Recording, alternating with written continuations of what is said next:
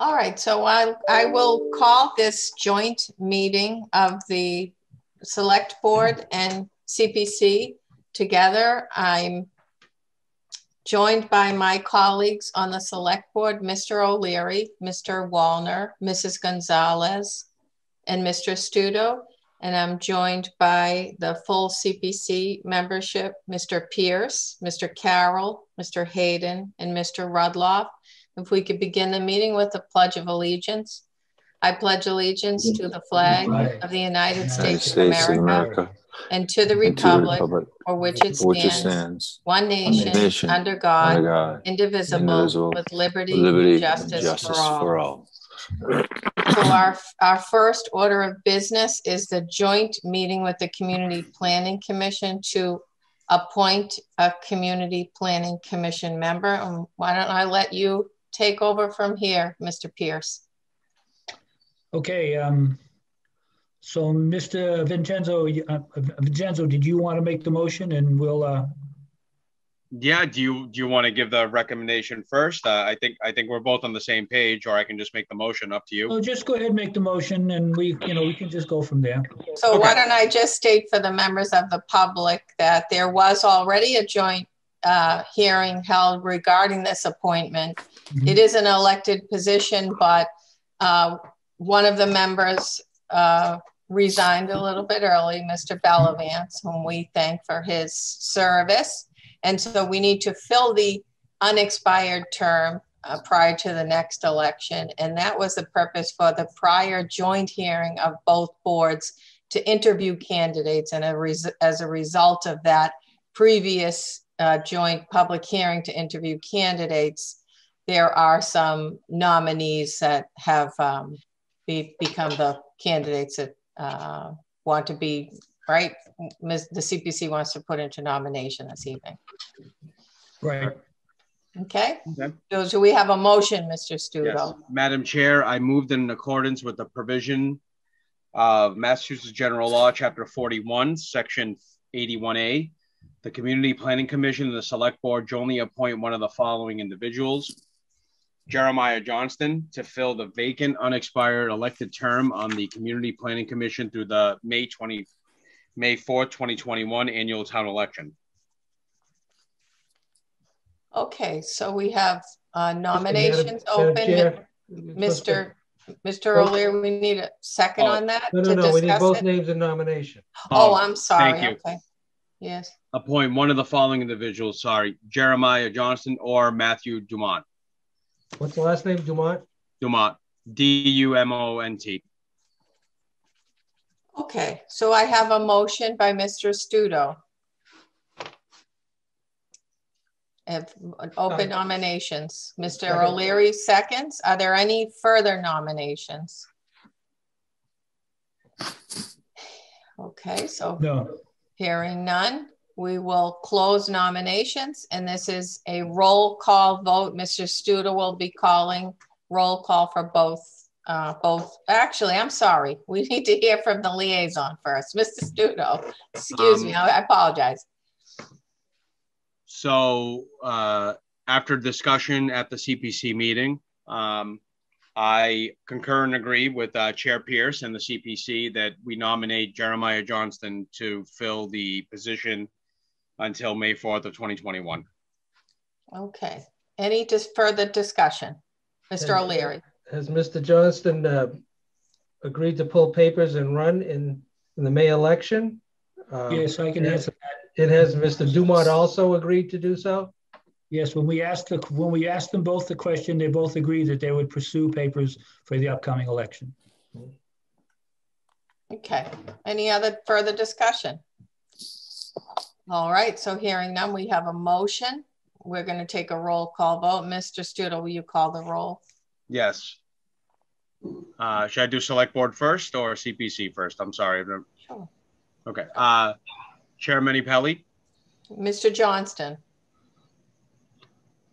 Mr. Wallner, Mr. Johnston, Mr. O'Leary, Uh, Mr. Dumont, Mr. S- No, Mrs. Gonzalez, Mr. Johnston, and Mr. Studo is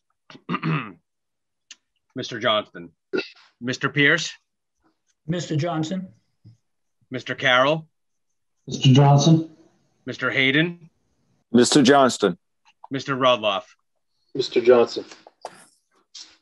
Madam Chair, Uh, I'd I'd like to, uh, to have my vote uh, re-recorded uh, for Mr. Johnston to make it unanimous.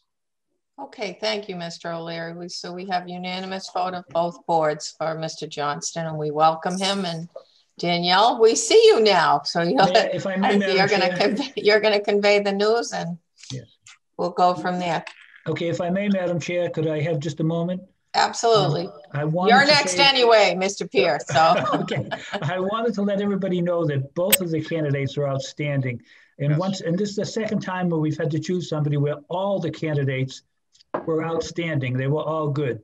I think it's just a great thing that we're getting that quality of candidate to uh, volunteer for these positions. So, so um, the vote was um, obviously just as difficult as the last time we had to do this. So I want to thank both of them for applying and hope that the other one continues, Mr. Noir continues his uh, his uh, pursuit of, of uh, work within the town.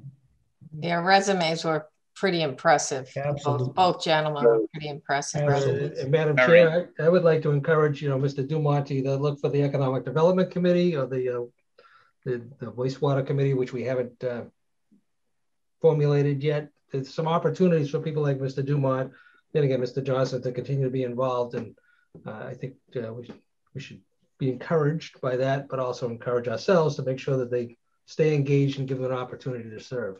Great, yes. There's plenty of, plenty of places we can use your help. Mr. Studo.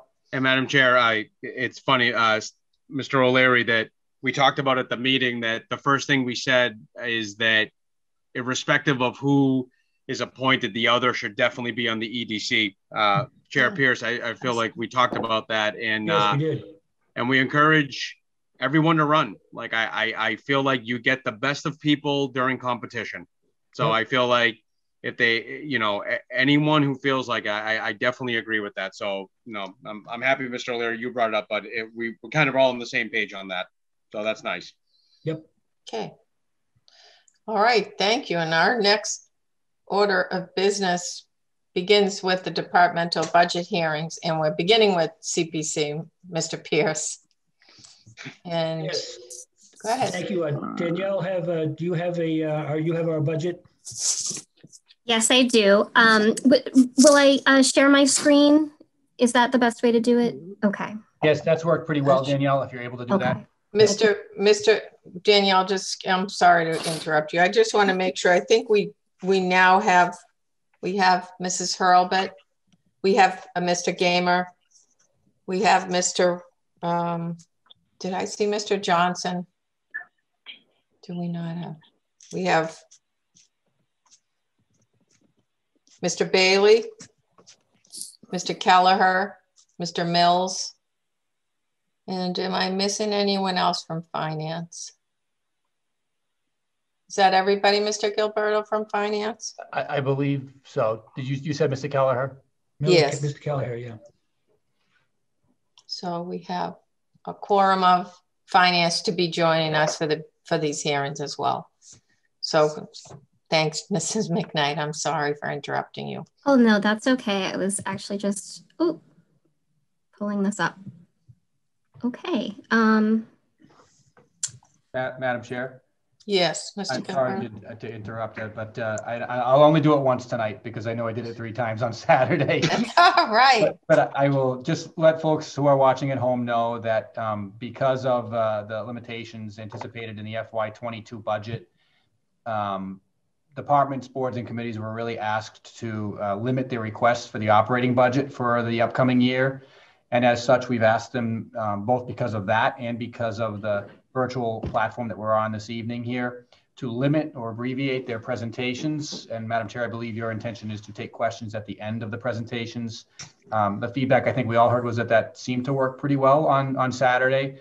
Um, for the public who is viewing at home, um, the uh, operating budget uh, is up on the town's website on the homepage, and you're able to access it um, through a link if you want to follow along. Um, these presentations will be uh, added uh, at a later time. And, and I'll just add to that because it did seem to work out well. If every, if both committees could hold their questions till the end, I'm actually just going to roll call all of the members. If you have any questions, if you don't, you can just say no questions or any questions or comments at the end. Thank you for the reminder, Mr. Gilleberto. Thank you. Danielle, I think it's time for you. okay, thank you. Um, this should be four and a half minutes. I timed it. Um, mm-hmm. okay, so just as I begin the presentation of, can everyone uh, see the screen share? Okay, yes. great. um, just as I begin the presentation of the CPC's FY22 uh, Dan budget. Danielle, one request, yes. make it six minutes. You speak very quickly. Maybe said four and a half minutes. Make it six. Okay, I'll try. Um, just want to note that I used the Select Board's uh, 2021 and beyond strategic plan to prepare this year's budget um, since I wasn't aware of an update and the items still appeared relevant and things we're still working on. Um, each of the CPC's goals and objectives for FY22 are aligned with one or more of the Select Board's objectives, and I've indicated each of these in my accompanying budget narrative. Highlights of um, FY21 and uh, current projects. Um, the master plan, um, after uh, completing our community master plan last year, the CPC prioritized uh, action items from the plan relating to Main Street. Um, town meeting approved funds for a traffic study and conceptual redesign of Route 28. Um, a contractor has been selected for this study um, or for this work and the contract is in process. The CPC has also completed a significant portion of its work with Abacus architects and planners on uh, redevelopment concepts for the Main Street, Winter Street area. Owner and stakeholder outreach, as well as conversations about next steps for this project will take place in the next few months. Um, this uh, will include what we hope will be a productive conversation um, also with the facilities master plan committee so um, we can come to a good uh, consensus about the best way forward for these properties. E-permitting, the planning department has worked closely with building to implement the new e-permitting system, which is now in use for building, planning, health, DPW, and fire. And conservation and the town clerk for business certificates only um, are under development. Housing, um, following up on both the master plan recommendations and the housing production plan completed in 2018, uh, we have received grant funds for technical assistance to guide in the development of senior affordable housing on Carpenter Drive. We've been working with consultants to do soil testing and to develop concept plans um, and a draft RFP, and we hope to schedule a neighborhood meeting soon to hear resident feedback on those concepts. The next step would be discussion with the select board of um, uh, to finalize an RFP, and following that, we would be preparing for a town meeting action um, potentially in October. For economic development, uh, the CPC continues to work with the Economic Development Committee, which took a hiatus from meeting for the first part of 2020 due to the pandemic, but has been meeting again. I've been working to coordinate the microenterprise grant program um, administered by the state, as well as make information available about other COVID relief programs for businesses. The open space plan, um, the planning department led the, the, led the update of the town's open space and recreation plan um, update, working closely um, with Parks and Recreation and managing MAPC's consulting work in preparing the plan. Uh, the plan was approved by the state in June. Um, FY22 goals and objectives um, for the master plan. In the near term, the CPC's key priorities still include various Main Street initiatives, including the conceptual redevelopment plan, zoning and exploring reconstruction and design. Um, goals also include a few of the many housing recommendations from the master plan, including the Carpenter Drive redevelopment, exploring the affordable housing overlay district parcels, and beginning to investigate an, access an accessory dwelling unit bylaw. For transportation, we would like to pursue construction funds for the Central Street sidewalk. Uh, we plan to make an application um, in FY22 to the Complete Streets program in hopes of receiving funds for a portion of the work. A capital request has also been submitted. Also, we hope to take findings from last year's park and ride study to the next step, exploring whether there is an opportunity to provide commuter services to neighboring communities' MBTA stations or an express bus to Boston. For economic development, um, we'd like to plan some additional um, EDC business outreach, continue supporting the cleanup and redevelopment of brownfields and other underutilized properties, including any progress on 70 Concord Street, and support new economic development efforts related to wastewater decisions to be made this year. The EDC could also benefit from the creation of a web-based database of business contacts so that we can more easily communicate funding opportunities and maintain information about COVID-related changes in their operations. And additionally, um, we plan to review uh, subdivision regulations against the town's stormwater bylaw and, and the terms of our MS4 permit in order to ensure consistency and compliance and pursue any necessary changes.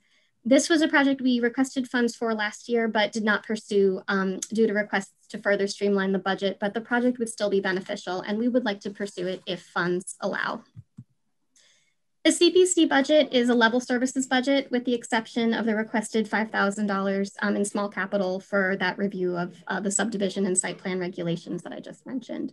Um, some master plan recommendations might be associated with new funding, but as in FY21, um, those would be anticipated to be standalone projects that would be more appropriate for um, warrant, um, warrant article warrant funding. article funding. Oh, or, or, oh, grant, or, or grant funds. Echoing. Um, rather than um, rather than the operating budget. And um, I would be happy to answer any questions. Okay, so we'll um, start with the select board, to see if any of the members have any questions. Mr. O'Leary? You're muted. Uh, Danielle, could you go back to that FY22 uh, goals and objectives? This slide? Great, thank you. Yes.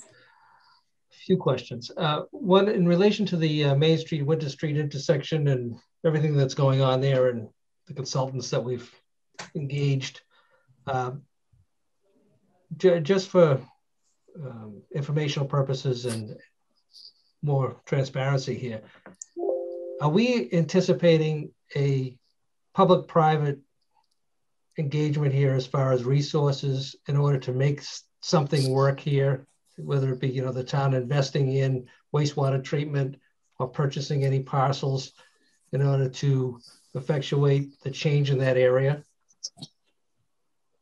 Well, the idea of this project initially was to figure out how private money could be leveraged. So if the town were to figure out a good plan, figure out whether um, this type of work would be feasible um, as far as sharing a package treatment system or possibly, you know, if, if sewer was a possibility, um, connecting that way. The idea was for us to look at what would be possible, but that the money would be private investment. Um, that was really the original idea behind this project. Um, I know that over the years, um, the possibility has come up because one of the properties has been on the market. Um, that I know that there's been no decision made about that. So the way that we have been working through this project is that, um, or I shouldn't say there's no decision made about it. I, I, should say that I know that it has not been fully discussed whether the town would would be inclined to spend money. Um, but I guess I should say that as we have worked through this project, we've made sure that any concepts would be um, that it would be possible to look at redevelopment if it were entirely private or if there were some kind of municipal use. And a municipal use could be any number of things, um, but of course, there, because there has been no, you know, firm discussion about whether that could be a possibility, um, that's not a requirement of this project. And so I think we've tried really hard to make sure that any development concepts could be possible with um, just entirely private money and that the town's contribution so far has been, you know, the investment in, in the study, um, having the um, sewer treatment um, plant sharing possibility looked at to see if it was possible. Our consultants found that yes, it was possible. And here are some ideas of development that could potentially come from that. I think any further decisions are are are are discussions that have still to be had. I don't know if that answers. The in the upcoming fiscal year, do we anticipate the need for additional funds for additional uh, consulting fees to further the study? You know, in the upcoming fiscal year. I mean, I just don't want it to drop mm-hmm. dead in the water because, you know, we've got some concepts, we've got some ideas, and we're looking to move forward, and we need to investigate further and we don't have the funding to do it. So my concern is that we're not mm-hmm. requesting enough funds to move the ideas forward. At this point in the project, we have not identified the need for further funds right now, but I think if if as the conversation moves on and as the project progresses, if it became apparent that we really that we did need more money, I think that that would be the type of request we wouldn't make through the operating budget. I think it would be a warrant article, at least, or, or potentially capital or whatever whatever the item was. I don't. Um, I never really saw a place for it in the operating budget because I wasn't sure if that type of money, which would be kind of project specific, would be an appropriate addition to the operating budget. Um, I'm just thinking about you know if we needed a cusp period to to continue uh, the study rather than waiting for an additional warrant article to be approved, that maybe some additional consulting fees might be required to assist in facilitating the ongoing effort as opposed to you know waiting six months plus depending upon covid situation here you know six months plus for for an additional town meeting. I think that's a good question. Honestly i hadn't thought about asking for more money for that. Um, if, if, if it's may, something Danielle, i'm sorry. if i may, if I may um, you know we still have some work to do steve so we've got some things we're still working on. Um, and as in, in, up to and including this, uh, talking to the stakeholders to find out where everybody's at. And at that particular point, we'll have a better idea of how how uh, how um, this pro- how this process can be moved along and whether we need any more funds. So I think for the uh, as Danielle said, for the time being, uh, and it would be a warrant. I, I would definitely see it as a warrant article. So okay. the, the, only thing I'm talking about, Warren, and you know, I'm as impatient as you are, and as patient as you are. You've been on the CPC probably as long as I've been on this board.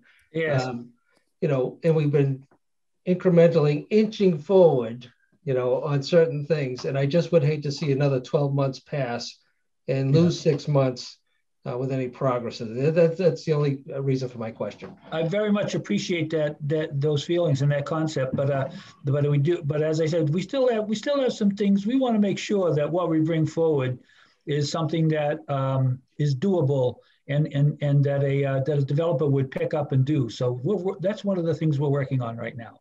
All right. Yeah. The other question I have is in relation to affordable housing and the um, the overlay districts that that's being considered. You know, going may be considered at the June town meeting. Uh, is there a need for any additional uh, resources to look at other areas of, of town for an overlay district parcel? Because I'm thinking of at least one, maybe another, uh, as far as conceptually, which may not have been included previously. You know, uh, do we need any additional resources to do that to include other parcels within the community for an overlay district? Hmm. Sure. I, I mean, I think that as far as what we have in the Affordable Housing Overlay District, we haven't, um, since that overlay was created, we haven't done any specific work looking at the individual properties that are in that district, and none of them have been developed yet. So I don't know if, um, I mean, I would, I would think that when it comes to affordable housing, my recommendation would be to start with those parcels that are in the district already, right. um, and to continue the work for Carpenter Drive um, and also to explore the accessory dwelling unit bylaw, which is definitely one of those issues that, you know, whether or not we do it, well, you know, still remains to be seen, of course, but it's one of the things that keeps coming up again and again and again.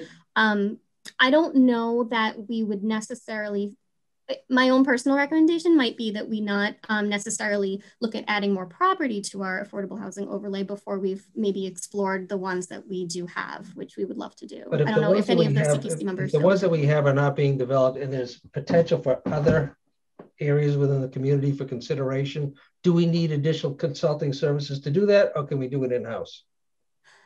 I think for that at least initially right now i would say we would do it in house with the help of the regional housing services office. Mm-hmm. we do have you know hours consulting hours that we get from them um, for this type of thing. I think if it grew into a really big project and we had a goal of you know a whole big rezoning and everything at that point we might need money but i don't really foresee that happening yet. I just look um, at the um, proposal that's before us which appears to be single-minded um, as opposed to maybe we should be looking at something else in addition to uh, for consideration. Yeah, the, the one on Park Street. oh, oh, you're um. Uh, I'm, I'm talking specifically about the one on Park Street that's been mm-hmm. proposed. Mm-hmm. Um, right. You know, should we be able to take a different look at things and couple other parcels with that? And That's do a we good need point. consulting services? If we don't, Mhm. fine. If we do, let's Mhm. budget for it. I mean, if if it seems like it would be a good idea to have more money in our professional services budget that can be dedicated to housing, we do have, I mean, that's an easy way to put it in. I mean, if that's something that would be helpful for me to research about how money, how much money would be helpful, what could be needed, I could have a conversation with our housing consultant and get a recommendation. We could potentially add a small amount of money to that line, line item. Um, that would give us some flexibility for spending it. Is that something that would be good for me to look into? Okay, I, again, I'm just looking at, you know, what's facing us as far as a, um, an opportunity, let's put it as an opportunity. Um, but, you know, is there some other places that we should be looking for? And do we need additional consulting services to consider those? Or are we able to do it in-house? If, if we're not able to do it in-house, then I think we should be able to um, appropriate some funds to do it, to address it on a timely basis so that we're not making an appearance of spot zoning, which I'm Right. confident that it's not. But uh, Well, if I may, Steve, I think that um, that right now we have uh, our, you know, we have we have plenty of work to do on the uh, in our in our housing overlay district that we have now. But again, but I agree with Danielle. If there was a if there was a, a modest amount, a small amount of money that went into that account that would give us the opportunity, should it arise, to look at these a little closer, that would not be a bad thing. But I don't think we're talking a whole lot of money here. no, we're not. I just want to make sure we have it. That's all. Yeah. And, and again, I, I think we need to, we're, we're gonna need to move on, but I Yeah. think this is a broader topic. I think what the, we have a lot of other departments waiting, and I think that these were streamlined for purposes of this Right. budget and this meeting. But however, these are, you know, other things that we probably need a, a longer meeting to discuss these in full. Okay. Although, based on your comments, I'm sure we're gonna hear from other members to Mr. O'Leary. But I think what Danielle tried to do and the CPC tried to do was give us a packaged budget that, you know, fits Right. in, consistent with everyone else's budget this year. It's a little bit different than what we've done before in the past few years, but just due to the financial constraints and COVID-19 and everything that we've had to address right now. So, but we do need to move on because we have multiple members that I have to ask if they have questions about this particular budget presentation. So if we can, if we can move on, Mr. O'Leary, was that the, it was No, that, you I all just, I just want to highlight that, you know, we may need just some additional funds for, to address immediate situations rather than taking the Yes, streamlined approach and ignoring okay. situations. That's All right. I'm fine, thank you. Mr. Wallner, do you have any, Mr. Wallner, I can't see you, but do you, I know Oh. you're with us. Do you have any questions? I am here. Okay, there you Uh, are. No, just comments. I have been a big fan of the CPC for many years. I think I've attended all the studies they've done over the last six, seven years and have participated. And uh, it's nice to see some of these projects coming out in the fi- fiscal year 22 goals and objectives. Um, it's nice to hear that we want to give you more money to uh, to uh, make sure you get everything done the way what you know as timely and as quickly as you can because I think the CPC is recognizing they are doing community planning the demographics are changing and we have to anticipate that change. And I think CPC has been stepping up to do that. And, uh, you know, the next uh, few years of work will be really um, uh, be defining our future for many, many, many years to come. So it's very important work. So thank you. And uh, Danielle, I always say you're one of the most important people in town. Um, thanks for doing so much planning. It, it goes right to my heart. So thank you. Thanks, Mr. Wallner. Mr. Mr. Studo, any questions, comments? No, my comment, I, I, I, I agree with everything Mr. Wallner said. Participating in the meetings, um, you know, I really didn't know exactly what the CPC did up until then. Then you see, and they serve a great purpose where they can definitely give us uh, direction. Uh, that's like a commentary on the CPC. You know, on, on individual projects, I do see here that, yeah, I mean, I, I it, it's kind of I've heard it before just because I've been participating in the meeting. So a lot of this is not new to me. Um, so I, I, just think that, um, you know, from a budgetary standpoint, we'll just, you know, I'm not saying we should take a wait and see approach, but, you know, as the CPC needs funds, if any, after anything they already have appropriated, I do think that maybe we should leave it up to them to ask for more. Thank you. Okay, thank you. Mrs. Gonzalez? Yeah, um, I just had a question about the park and ride. Um, I, I just wanted to ask is, are, are we going to be looking into like paying into the MBTA? Is that the idea? Well, the idea I think would be an expansion of um, when we first started the contract with MVRTA for the ring and ride service. Um, the thought was that after the first year or so, we would look at the data to see if that could be expanded in any way, because we, um, I think we were, we were not paying our whole assessment that was previously for the MBTA being redirected for MVRTA.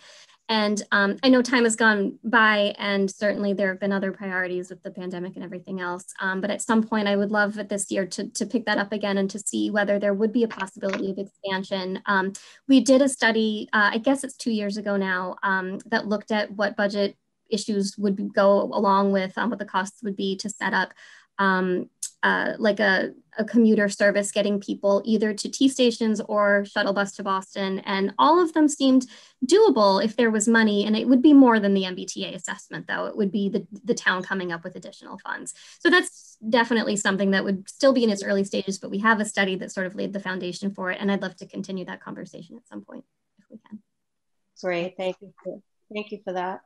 Um, and just just my comment, I, I, I agree with my colleagues. Um, as a Mr. Pierce and um, I spent a lot of time sitting at CPC meetings back in the day when we were um, building and we had a, a builder um, developing around us. So I got to a front row seat to quite a few CPC meetings and I appreciate everything that they do. They do a lot and they do, they, I don't think they're appreciated as much as they should be. So I thank you all. Thank you. Thank you. And uh, I'm going to go to the members of the Finance Committee for any questions. And if you don't have any, that's okay. I'm just, I just can't see you all. So I'm going to, I'm just going to roll call your names. Mrs. Hurlbut?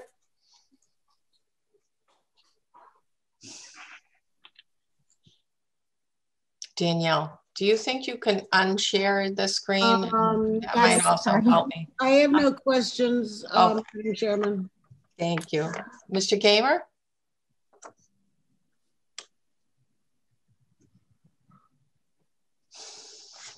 This probably doesn't have any questions either. Oh, Mr. Gamer, you're muted. Any questions? You're still muted.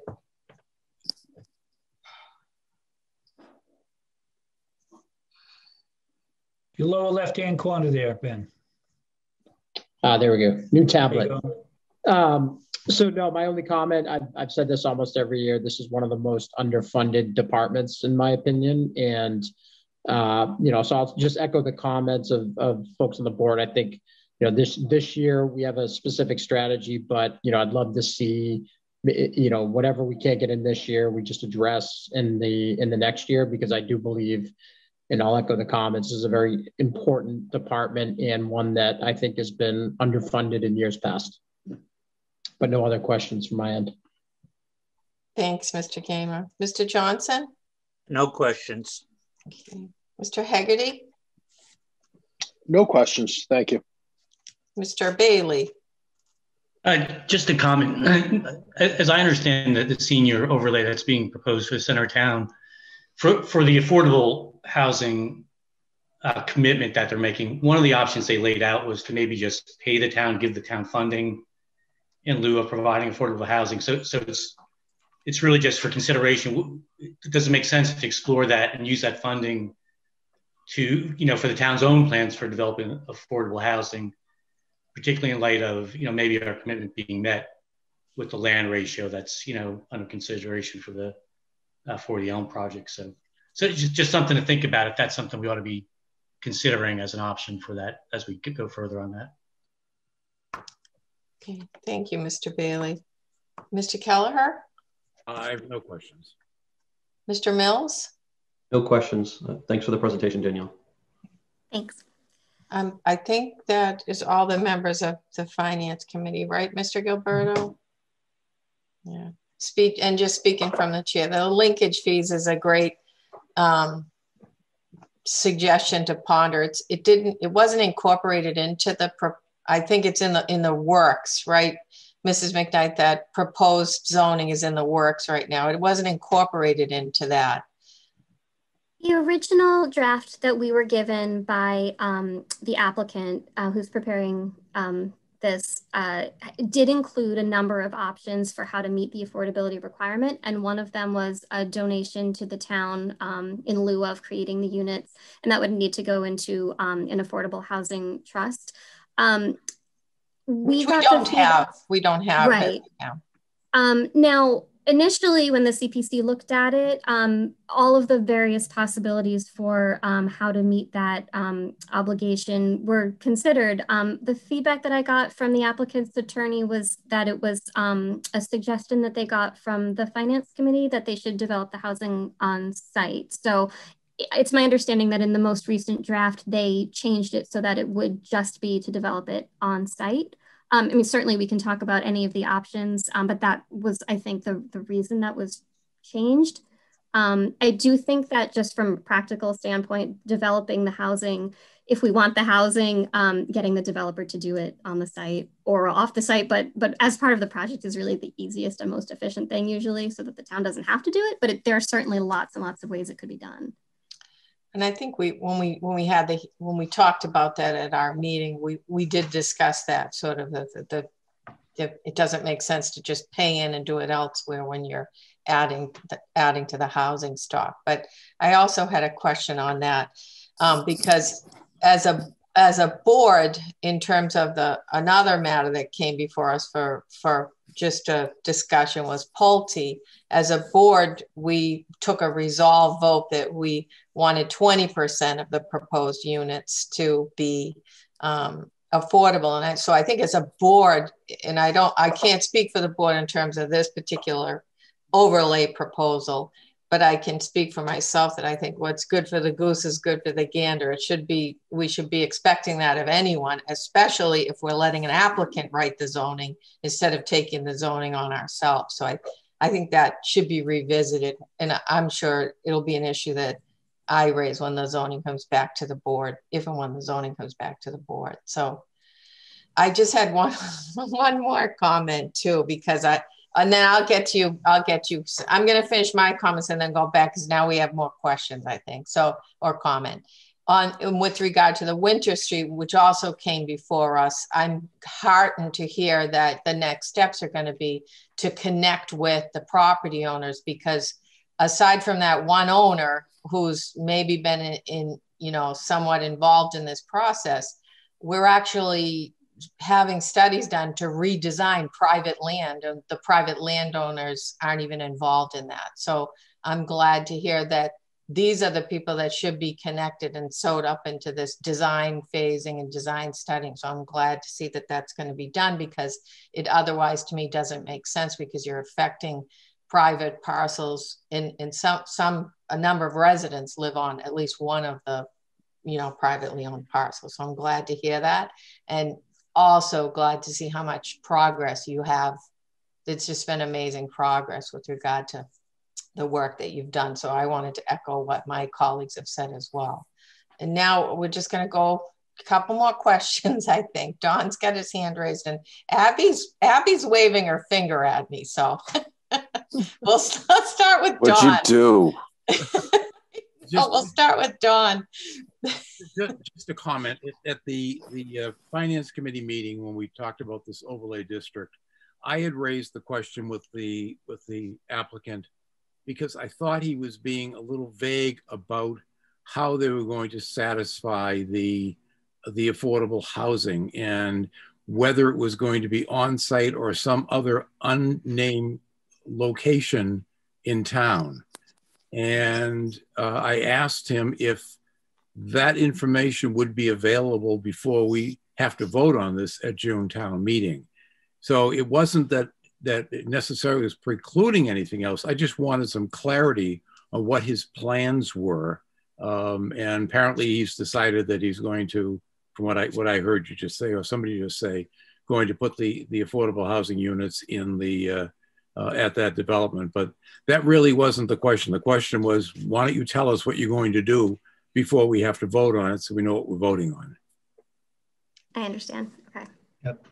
Our meeting was at, was after that finance meeting, so maybe it it was, it, maybe he modified it for after, after he met with the finance committee, so. Okay, all set, Mr. Keller. I am, thank you. Miss- Mrs. Hurlbut. Yeah, um, you know, basically, uh, Don is giving you a pretty good overview of some of the discussion that took place at FinCom. I think that uh, the applicant had talked in terms of putting five units of affordable housing on another piece of property that he owns in town. And that sort of smacked of a ghetto, and it wasn't particularly appealing. There was never any discussion at the Finance Committee about putting money into an affordable housing trust. Um, and furthermore, it's not the Finance Committee's job to make these decisions. Uh, this was simply um, uh, the applicant wanting to go to different meetings and get feedback. Thank you, Mrs. Hurlbut. Okay, I think that that is everyone on, on uh, both the board and the finance committee. Anything else, Mr. Pierce? Oh, I think that's, uh, I think that's it. Okay, thank you. But I do Thanks, thank you all for your input. Thank you. Thank you. You're welcome. Thank you. Thank you. All right, I know we have Mrs. Prenny here. Our next um, budget for review is elder services. Hi, can everyone hear me? Yes, good evening. Good Welcome. evening. Thank you. Um, I don't have a PowerPoint, but I do have a small presentation. As you can see, I'm asking for a status quo budget, same as 2021. Only exception is again this year, I am asking that our outreach assistance hours be increased permanently to a full-time 35-hour-a-week position. This would be an increase of 10 hours, 15 hours paid by the state formula grant and 20 hours paid by the town. I wish I had that crystal ball and could foresee when the opening the senior center to program would be safe for the staff and all the public. Hopefully, with progress being made with the vaccines, we can open sooner than later. It will be one year next Tuesday when I received a phone call at 420 from Michael Berto asking me to come to the police station now for a meeting. After a gasp, he immediately reassured me it wasn't personal. At that time, I was told we, the senior center, was closed immediately. You can imagine how heartbreaking it was for myself, staff, and everyone who comes to the senior center. Our job at the senior center is to promote socialization, well being, and belonging. A place to learn new things and share things, share hugs, kindness, laughter, and sympathy when needed. Recently, we have brought into the building many flowering plants just for the sense of new life. I was in our building working every day in the past year, even if it was just for a few hours a day to take phone calls and answer emails, especially in the first few months of the pandemic. Staff worked remotely at home during the beginning months, but always managed to take phone calls and answer emails, and we constantly communicated with each other. The month of April was the most difficult. As I looked out my office window to the north on Havel Street, usually a very busy street, there was no traffic. Out in the west window, there were no children in the playground or teachers' cars parked at the Batchelder School. But I think the saddest part was out the east window looking at Croswell's funeral home. Only one or two cars were parked to attend their loved one's funeral. John Croswell told me last April was the busiest and saddest month he ever had in business. In saying all that, we at the center spent most of our days the past year on outreach. In the beginning, we sent out a short newsletter to 2,300 homes, reminding people they were not alone and information on how to stay safe. In June, we did a door to door visit to 1,200 individual households of residents over 70 and passed out packages of masks along with information bookmarks. We made 900 robocalls to residents in three various times, reminding people all the senior center was closed to the public. We as a department reminded them that there was, we were there to help. Just recently, we sent vaccine information to over 2,300 residents. We made hundreds of repeat phone calls to residents checking on their well-being. Plus, we sent hundreds of cards, thinking view cards, birthday cards, Christmas cards, and in return, we got so many thank yous. Until March of last year, we provided 2,100 rides. 4,100 participants joined in various programs and were able to offer 150 residents fuel, insurance, and tax services. This is all done in our one room senior center in a building that's 192 years old. The staff handled approximately 8,000 intake calls in which people were helped internally or referred to outside agencies. For Halloween, we, well, actually, it was Sherry Gear with the DPW's help, decorated the entire front of the building as a giant spider web, which the entire community got to appreciate, and also had a drive-by Halloween luncheon for 40 of our residents. For Veterans Day, with the generosity of the North Reading Little League, we hosted another drive-by luncheon for our veterans with home deliveries for those who couldn't make it. For Thanksgiving, we helped organize Representative Jones and Senator Tarr's drive-by Thanksgiving gift bag at the Hillview for 200 residents. And this coming March 17th, St. Patrick's Day, we will honor the tradition at the Edith O'Leary Senior Center for drive-by corned beef and cabbage lunch carried, uh, catered by the Hush Show. In our partnership with Mystic Valley Elder Services, I am proud and honored to say that we serve 1,900 congregate daily meals until the close in March. We delivered over 11,000 home delivered meals, all delivered by Bob Grady, our driver, uh, without missing one day, one day of delivering through all the pandemic. And just a side note, I want you to know that folks who came to the senior center every day and needed that hot lunch went on the home delivered meal list. In 2020, Mystic Valley continued to provide services valued at $2,106,655. That was a 13% increase from last year to North Reading residents and their families, which again shows the need to have a full-time outreach work on staff. Even though their building was not open to the public, their amazing staff worked remotely every day without missing intakes or disruption of services. Since the beginning of February, when vaccines became available and the state advertised to everyone in every available website to call their councils on aging and senior centers, and they would help in getting the public an appointment for the vaccine. Our phones have been off the wall.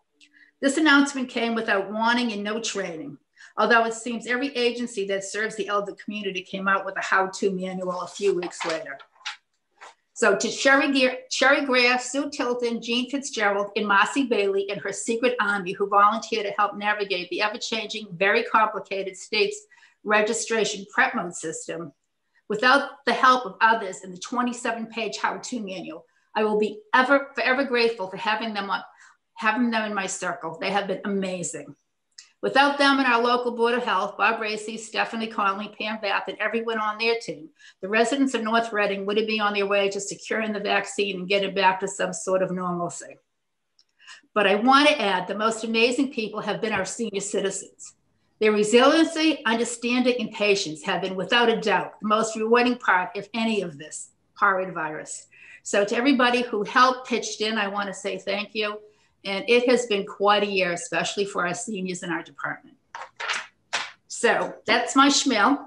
Thank you, Mrs. Prenny. I hope you submit that to the to the paper so they can republish that.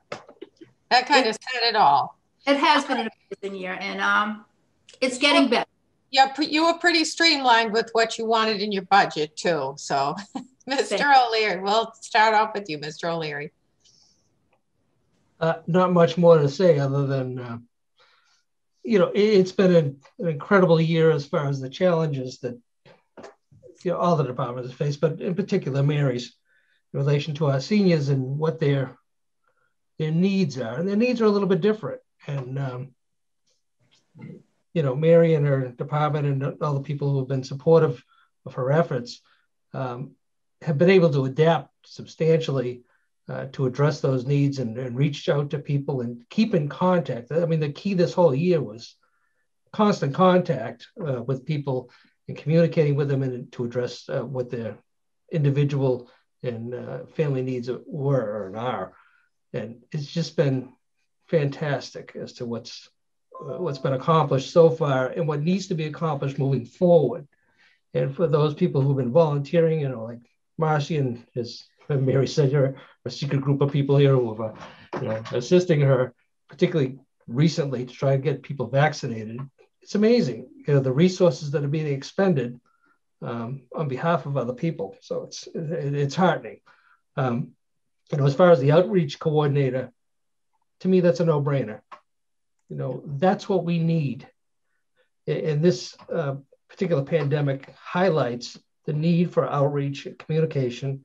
And um, to me, that you know, let's do it. That's you know, whether it fits within our parameters and what you know, what we've uh, established as far as what we need to do in relation to budgetary constraints. Um, this is the most vulnerable uh, segment of our community that needs to be addressed. And um, the partnership with Mystic Valley Elder Services is invaluable. And again, their, their costs have gone up exponentially. And for those of us who can afford it, we should contribute. So, uh, enough said. Thank you, Mr. O'Leary. Thank you, Mary. Mr. Wallner? Um, yeah, I'm, I'm very aware of the COA being one of my original um, volunteer efforts in town probably 10 years ago. Mary and I, I think, is when we first got started. So, um, and it was really nice to see uh, the the project that we had defined a long time ago, Project 500, um, actually get put into place way back at the beginning of the COVID, where I think you had some hundred something volunteers in town who did outreach to these households where people are alone and living alone and don't have any other connections. So um, it's really nice to see some of our contingency plans come come to fruition, come to use, and uh, and to have the your group be in the middle of helping to coordinate that. So thank you very much for being that connection to people who need you the most. Thank you. Thanks, Mr. Wallner. Mrs. Gonzalez? Barry, you know I'm a fan. Um, I, I believe this is such an important department. It's a pulse point. It's a place for them to get people to gather, have a meal, watch a movie, um, get transportation. And I mean, the endless things that they do there. Um, it's just so important for our community. Um, and during COVID, to relieve fears, to answer questions, to clarify, to point people in the right direction, to help them with computers, um, all those things. She, they do all those things there, and it's just invaluable. So, and the outreach coordinator, I believe that that's been talked about since I've been on. Um, so, you know, I would, I would be all for that. I would love to see that happen for you. And I thank you. Thank you. Thank you, Mrs. Gonzalez. Mr. Stuto?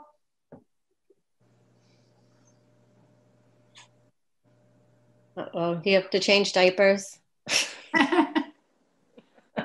no, my apologies. I'm having issues with my uh, internet, and I've already told the story too many times of why my internet doesn't work. So I'm going to spare you. But no, uh, I.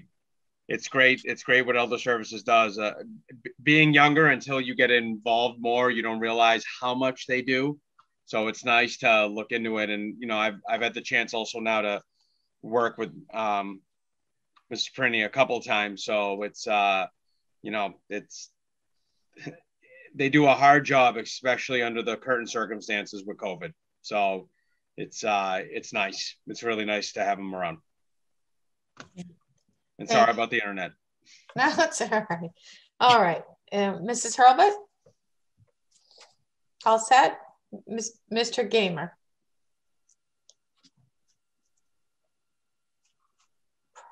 Probably all set too. Mr. Johnston? I have no questions. Thank you. Mr. Haggerty?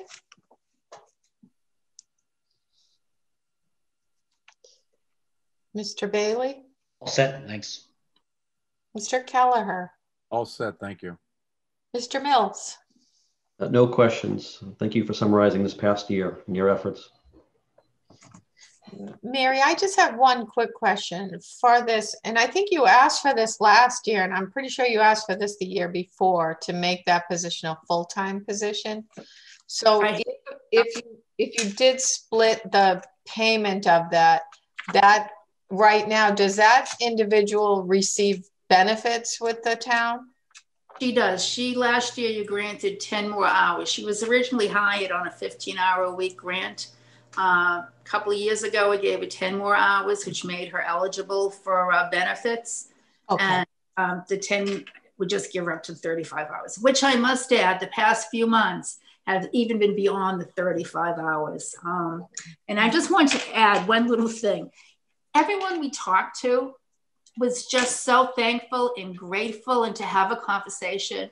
But for myself and our staff, it was just as amazing to be able to talk to people that we haven't seen or talked to. Um, it was an interesting year, but we met a lot of new people and talked to a lot of people. So um, I was at least happy to have that opportunity. Yes. All right. So I was just wondering, in terms of the budget, though, it it isn't that much of a leap. I don't No, want to 10 hours. I really say that in front of Ms. Rourke, but it's 10 more hours and it's already a, it's already a benefited employee. So that's not really much of a, a leap for us to do that. So thank you. Your staff really is lovely. It was Sherry's just wonderful and all of the people that help you out and all of your volunteers. It's just wonderful.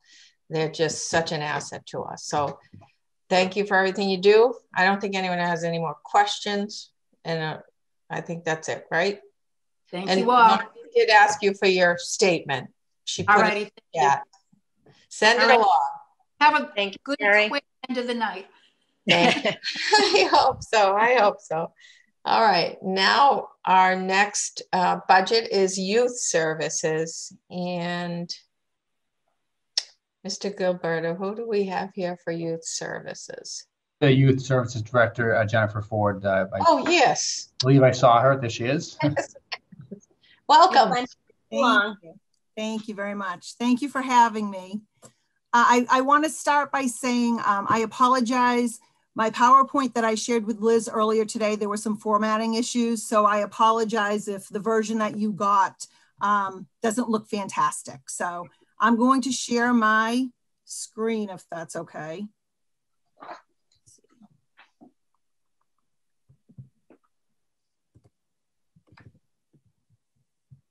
Okay. So I'm also going to make this very short and sweet. Um, my name is Jen Ford. For anyone who does not know me, I am the Director of Youth Services. And we will start with some of the highlights.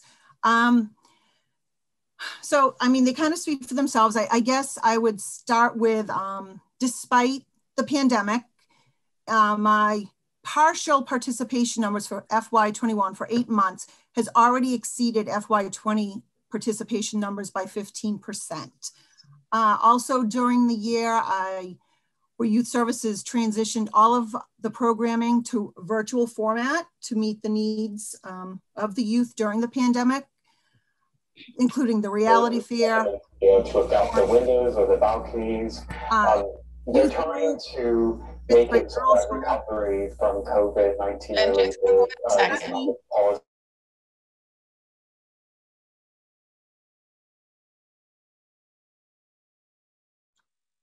Jen, you need to unmute. Did I mute myself? Sorry about that. Okay. Uh, Sorry, I, I have to mute everybody in order to correct this. Madam Chair, um, you need to unmute yourself as well. Sorry Yes. about that, folks. It was just some feedback, so we couldn't hear you. Okay, no, no, no, thank you. Um, I would say one of the biggest highlights, at least for me, which was a really cool thing to be part of, was FaceTime with Santa. Um, we were able to individually FaceTime with 109 youth. All of those youth were brand new to youth services. And um, fortunately, I know a Santa Claus, and uh, we were able to. I got individual information from all of the youth in advance, so the calls were very, very individualized, and the feedback that I got from that was just truly amazing. Another new program that uh, Youth Services Office offered was the Pen Pal Club. Um, definitely with effort of trying to keep everyone connected. Anyone who knows me knows that my focus is keeping connected, building community, all of that. And needless to say, during a pandemic, that was a bit more challenging. Um, again, during, during the year, I still partnered with Flint Memorial Library and the High School International Club. We offered free language lessons, uh, worked very closely with elder services and veteran services. Needless to say, their populations were directly impacted. And while my population was impacted, I had different tools I could use to stay in contact, whereas elder services and veterans were not. Uh, so we partnered a lot for a lot of outreach efforts. Um, sorry. So this next screen here are the real highlights. Anyone who knows me knows that I'm I'm about kids. I'm not about numbers. One kid is enough to me. And these to me are the real highlights. Um, the feedback, the difference that youth services makes in kids' lives. Again, anyone who knows me knows that I focus on community, um, creating a judgment-free environment, safe connection. And when you read through this feedback, there's that common theme. So to me, that, that's the true success of youth services. as far as moving forward, some of my goals obviously have repeated because unfortunately we were not able to accomplish them in FY21. Uh, but definitely moving into FY22, youth services will continue to facilitate programming specifically around mental health because the reality is as a society we were kind of dropping the ball pre-pandemic and the impact on mental health is going to be quite significant. It already is proving to be. So uh, a lot of the focus will be on mental health and anything else related to covid. Uh, i also hope to create a youth driven uh, podcast. Um, while uh, while changing the reality fair to a virtual format, I uh, started considering doing some sort of a financial literacy cur curriculum for high school students. Um, I'd also like to offer the um, graduating senior lottery. When I say lottery, because it's it's it would be a scholarship, but it would be less about academics and more about youth services participation. And it literally would be then more of a lottery format. Uh, to consider partnering or to continue partnering with school and community stakeholders uh, regarding social justice for all of our residents, uh, continue to um, partner, partner up and collaborate as far as intergenerational activities.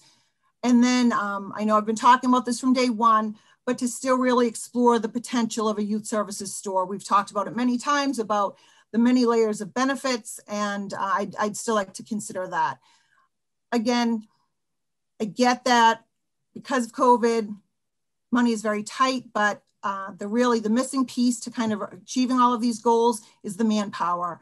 You know, when when I look at everything that's been accomplished with youth services, and I get really excited thinking of with just a little more manpower, how much more we could really do. That's all I got. So does anyone have any questions or comments? a lot. So how about we kick it off with you, Mr. O'Leary? again, Jen, you know, this year has been challenging and it's um, not surprising that, uh, you know, more participants today than there were pre-COVID.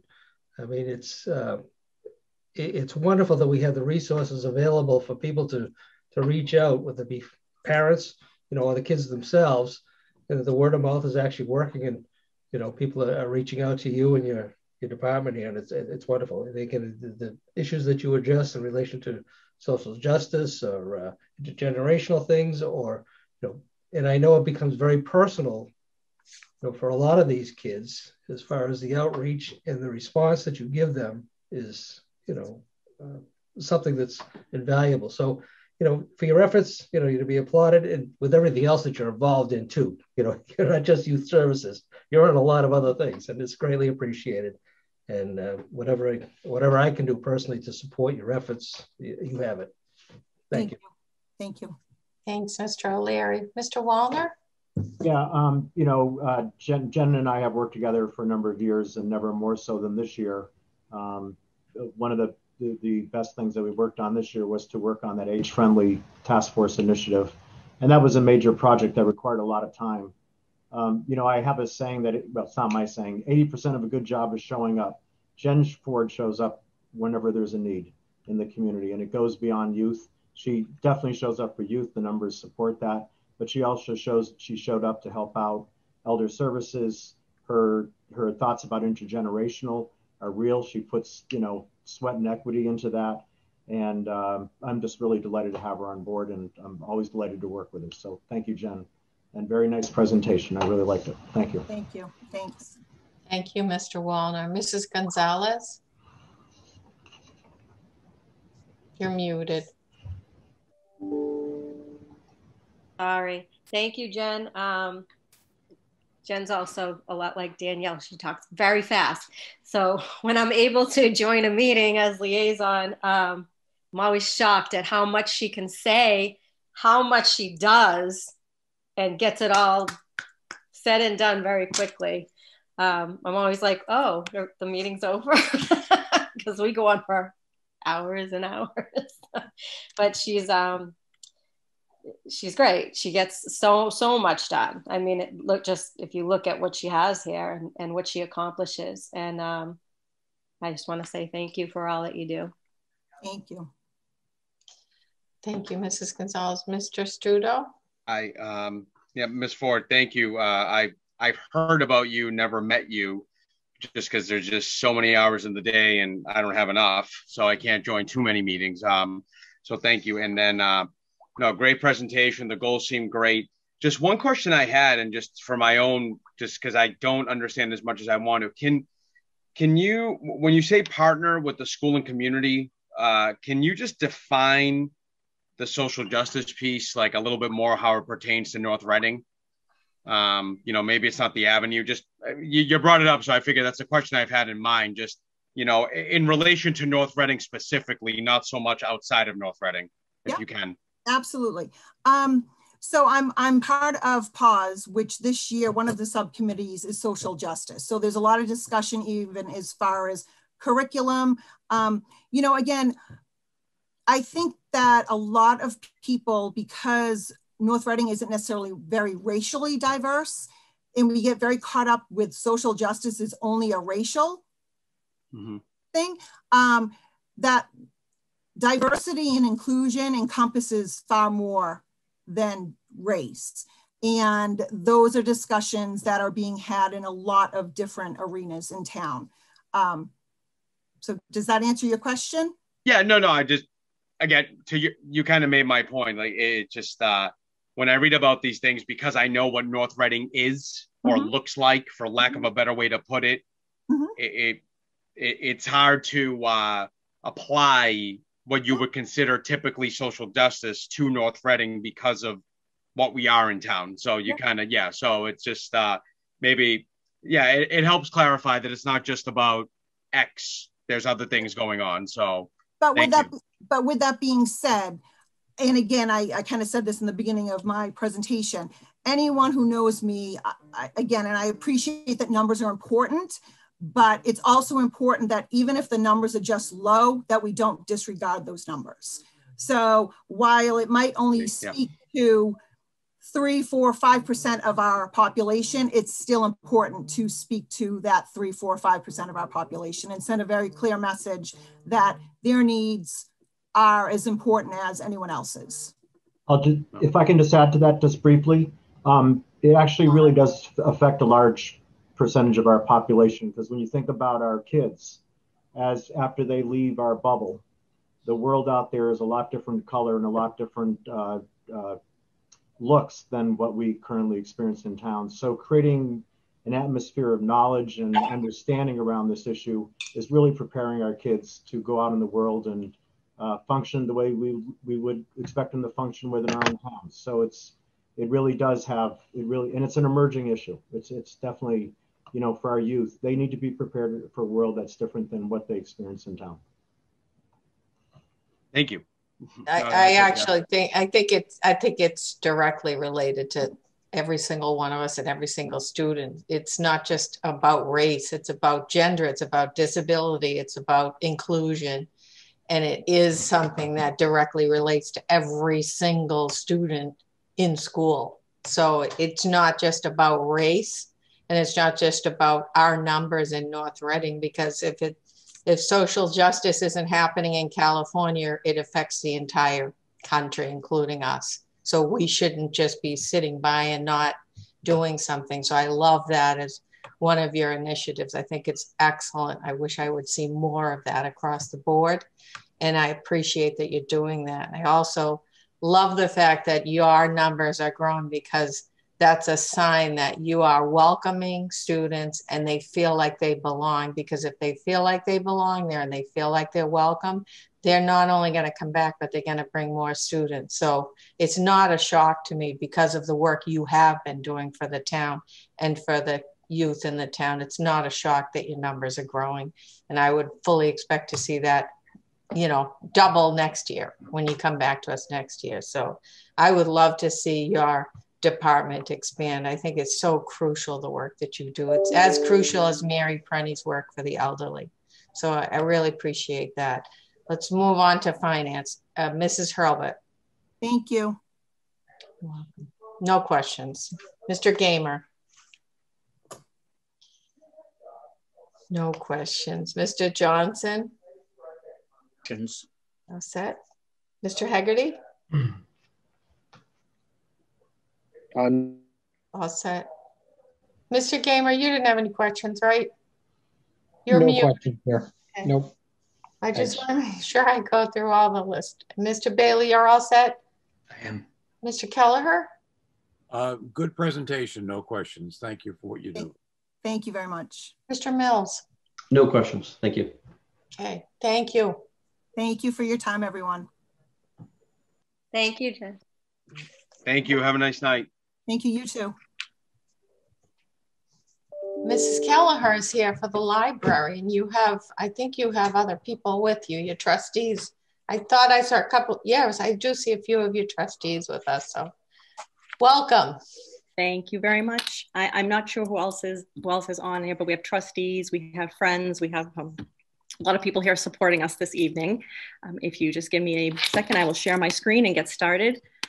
I too have a quick presentation. I know it's gonna be a long night. Um, so thank you for the opportunity to present the FY22 library budget proposal. For those of you who don't know me, my name is Sharon Kelleher and I am the director of the Flint Memorial Library. This budget request, $634,376, reflects a 2.8% operational increase. It also meets the municipal appropriation requirement, the MAR, which is required to be a certified library by the state. Not included in this year's request is the Adult Services Technology position. This position is needed to provide the expertise and the support necessary for both internal and community technology needs. It will also allow us to expand our homebound services, which we have been hoping to do for a long time. Um, we have asked for this position for the past three years as the need continues to grow. However, we did not include it this year because we are presenting a level services budget. So how did the library evolve to serve the community and deliver services amidst the pandemic? We knew it was very important to keep people connected while providing essential services to the community. We moved operations to the ground floor activity room to create a safe pickup and quarantining location so we could continue to provide printing, scanning, tax forms, and other library services.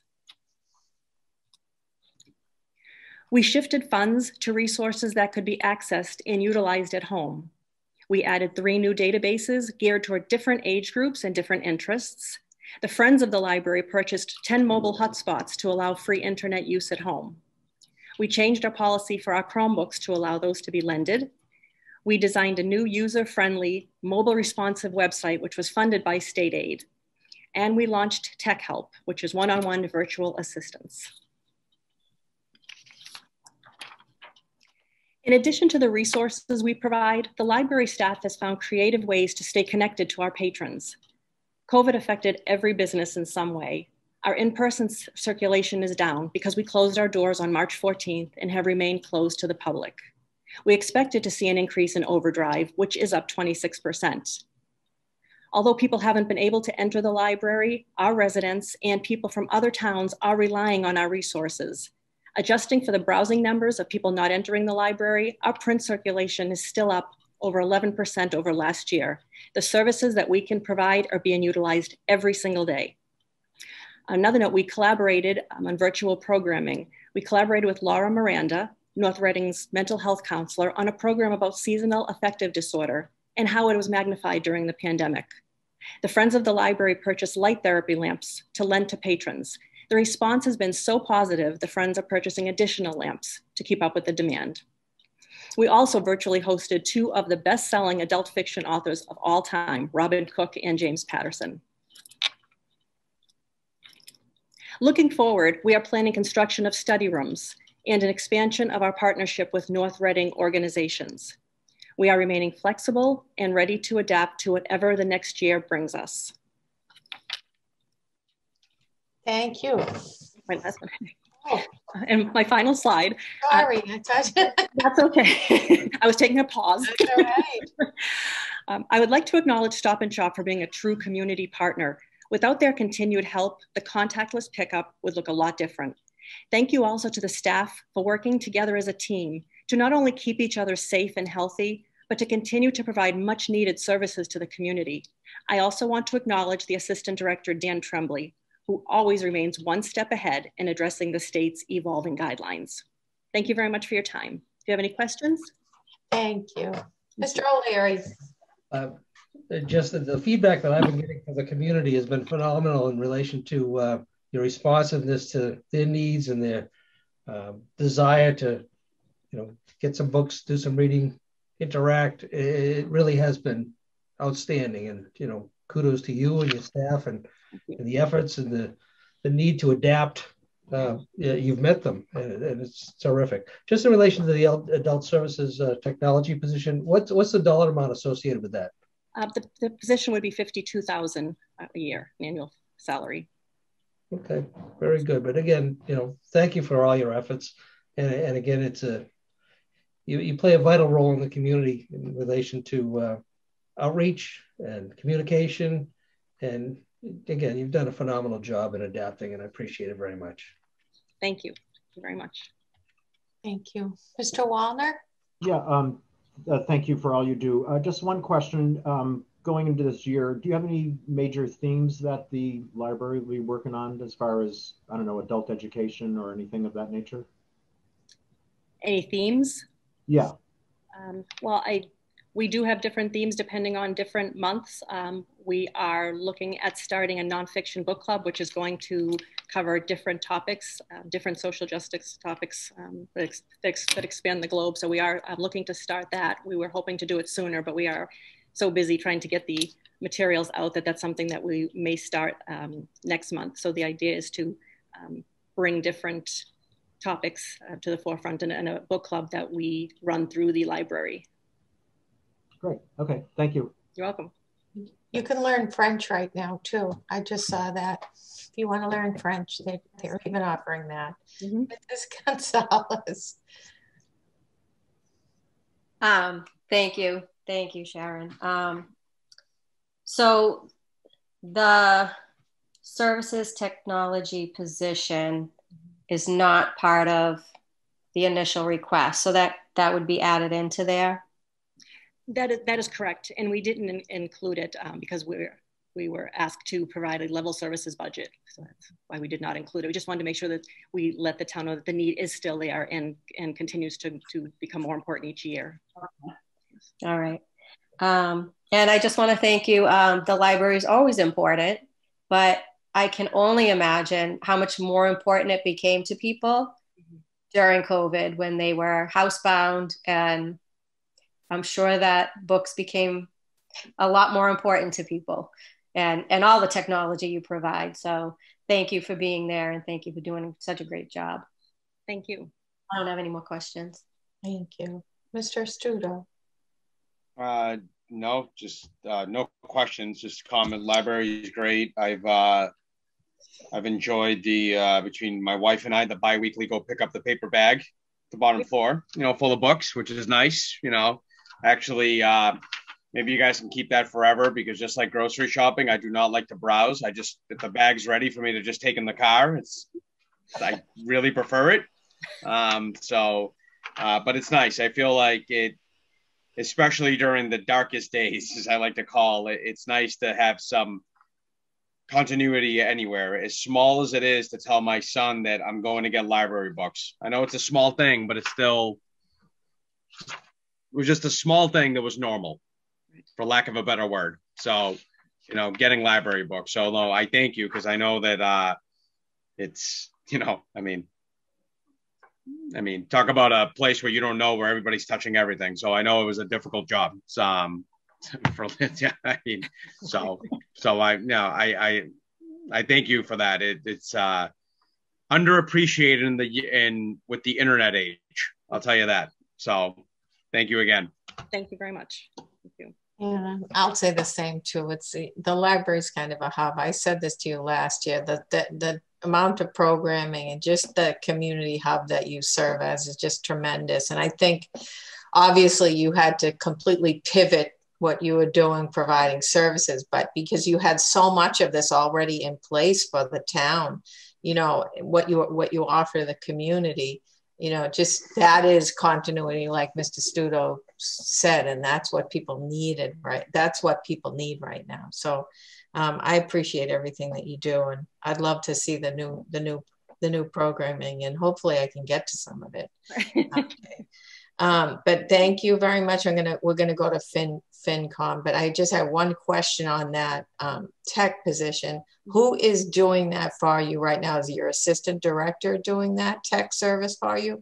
It, it, it is a combination. It is, um, yes, the assistant director, Dan Tremblay, who tries to um, do it and does a great job, but now he's been, been spending a lot of time doing um, um, COVID and guidelines and protocols. But the um, person, the information services reference department, um, Chantil, she also does that. So we all we all do a little bit of it.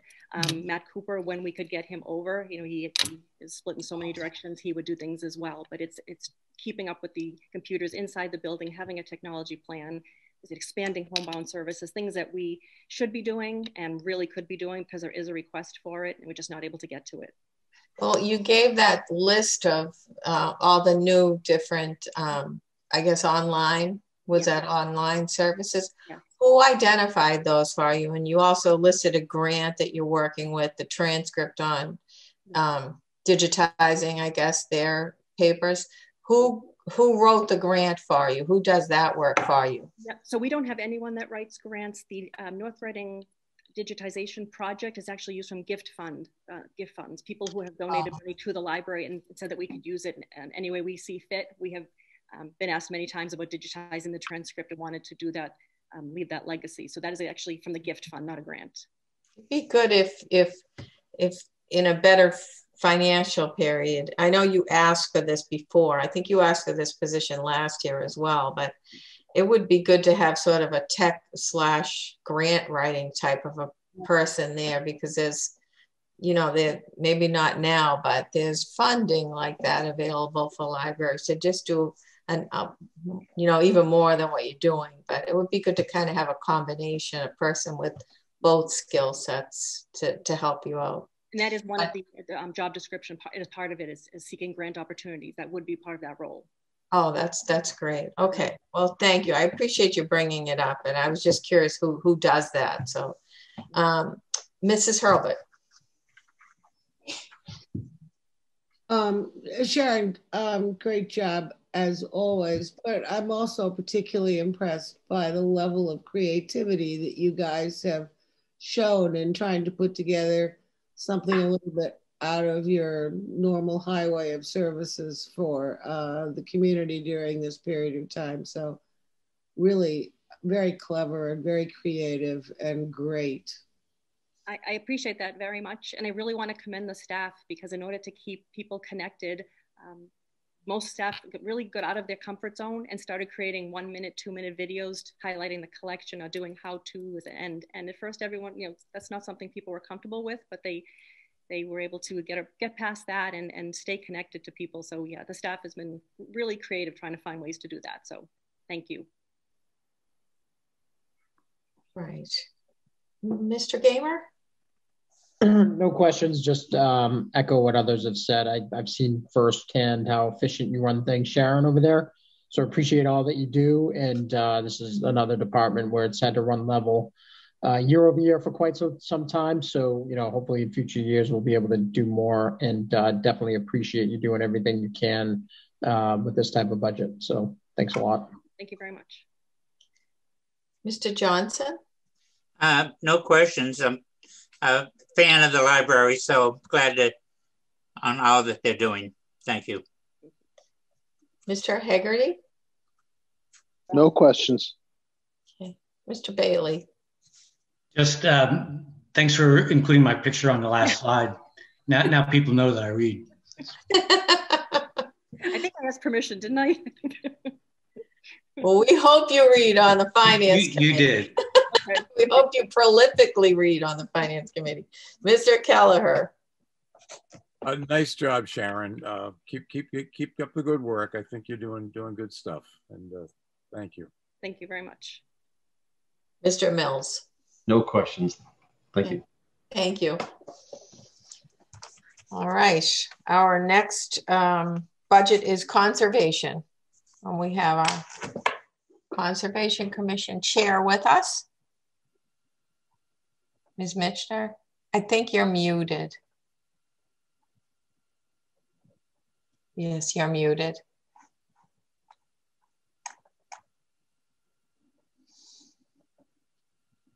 How about now? There we go. Good. Weird. Welcome. Thank you. Uh, that's gonna be a tough act to follow. So I have the, the shortest subtext, the lamest PowerPoint, which I'd be happy to not show you and just tell you what we've done. Um, I can put it up if you prefer to look at it. Sure, you did it, so you might as well show us. I don't, well, you might change your mind, but nevertheless.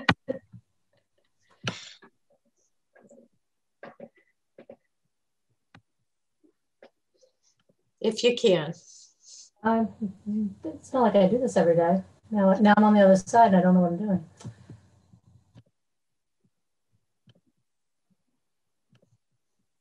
There we go. Oh, all right. So, not to give it away, but you probably already saw that that was two slides. So, we've had a rather normal year, which I think is probably something that not many of the, the boards can say. Um, really, our, our only big switch, of course, was to having Zoom meetings. But aside from that, we still maintained uh, our, our once monthly meetings. We had 43 notice of intents. I think we only had two enforcement orders this year and a handful, I think um, 12 uh, certificates of compliance. That didn't sound right. That's what my notes say.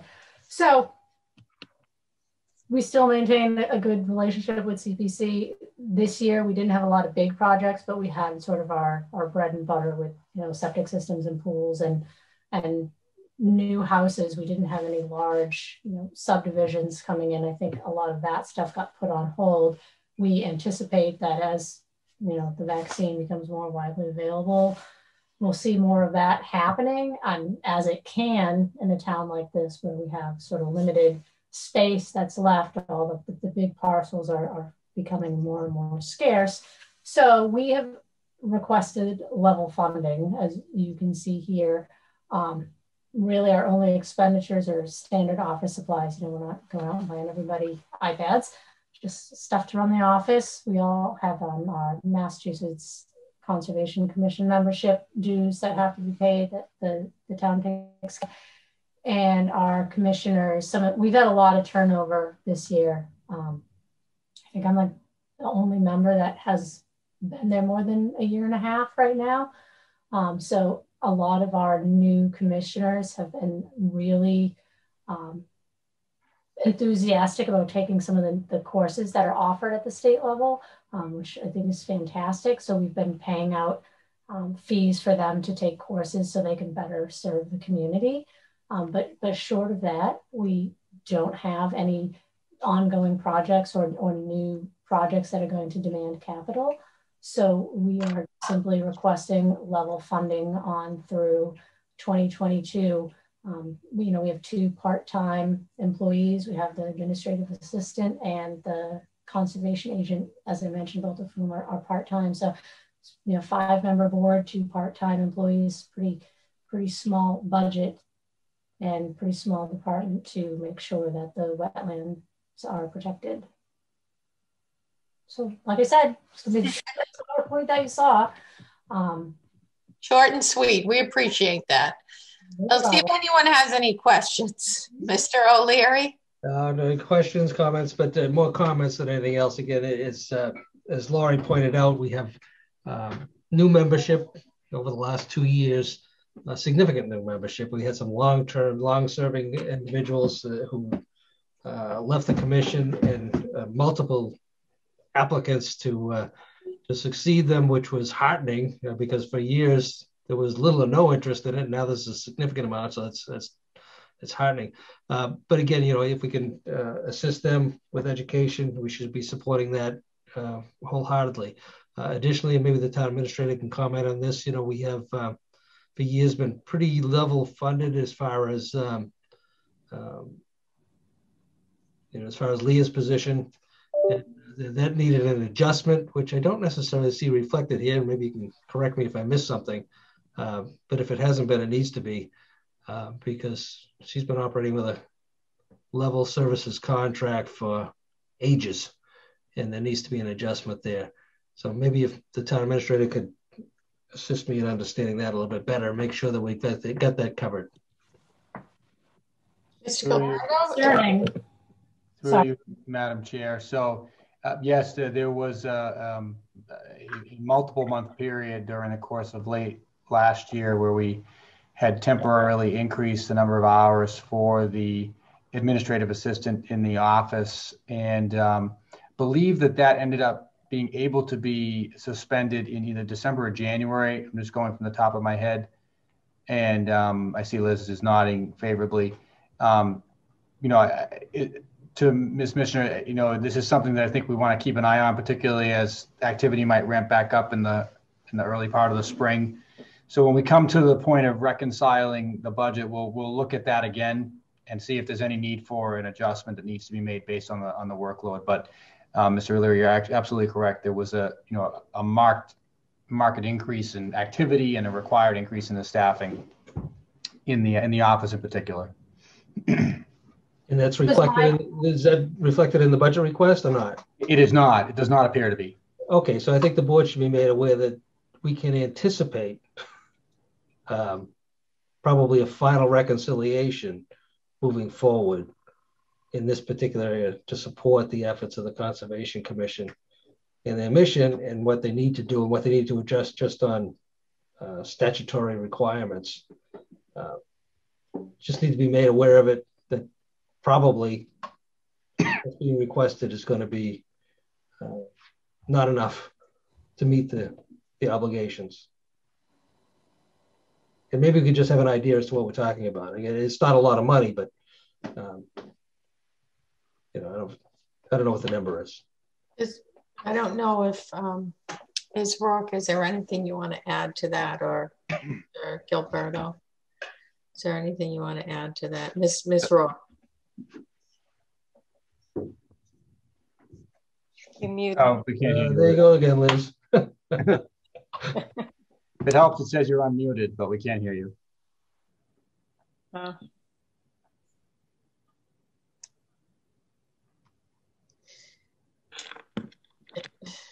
All right.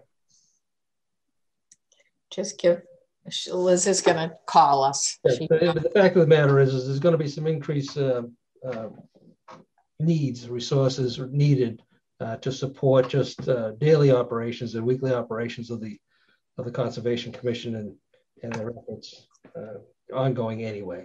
So level funded probably is not realistic. I think that the, the short answer would be that you know it, it's likely that we we're going to need to adjust this. You see that there is an increase that went in. You know, we, we spoke about the administrative staff in the office. There has been an increase with regard to the hourly rate of the um, of the conservation agent. You'll see that, as you can see in the request, there was an increase in there in FY21, and it's carried through to FY22. Again, another area that we'll monitor the performance between now and when we reconcile the budget, most likely in uh, in uh, the either the first or second week of April. And thank you, Liz. She's back. Liz, are you there? Yes. Did, did you hear what I offered? Did you want to add anything to it? I heard the end of it. So you uh, you answered how I was clarifying uh, Mr. O'Leary's question. So okay. Thank you. Thank you, Ms. Roth. Okay, all set, Mr. O'Leary? Yes, uh, Laurie, and thank you for all your efforts and everybody else that's on the commission for what they do all year round. Thank you. Mrs. Gonzalez. I have no questions, but um, just a thank you for all that you do. Mr. Wallner? Yeah, um, I, I've known Lori for a long time and I'm glad she's on the Concom because I had to make a request about a year and a half ago and she handled me very professionally, I must say. So I can only ex express my thanks from a consumer point of view. So thank you for what you do. Mr. Mr. Stuto. No questions, just thank you. Mm -hmm. Thank you from the chair. You look like you're on a ski lift somewhere too. It looks very relaxing and peaceful. We're going to call the Finance Committee. Mrs. Hurlbut, any questions, comments? Mr. Gamer? No questions. Thank you very much for your presentation. Mr. Johnston? No questions at this time. Thank you. Mr. Haggerty? Oh, he was with us. All right.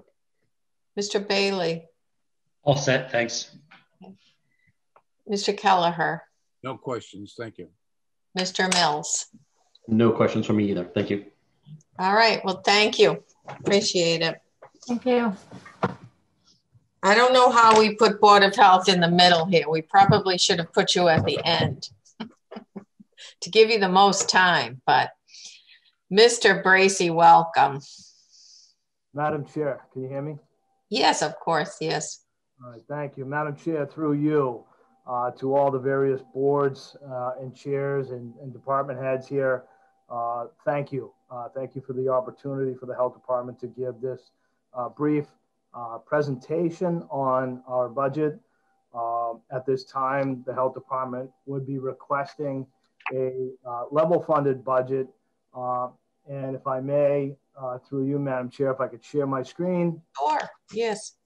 Let me pull this up.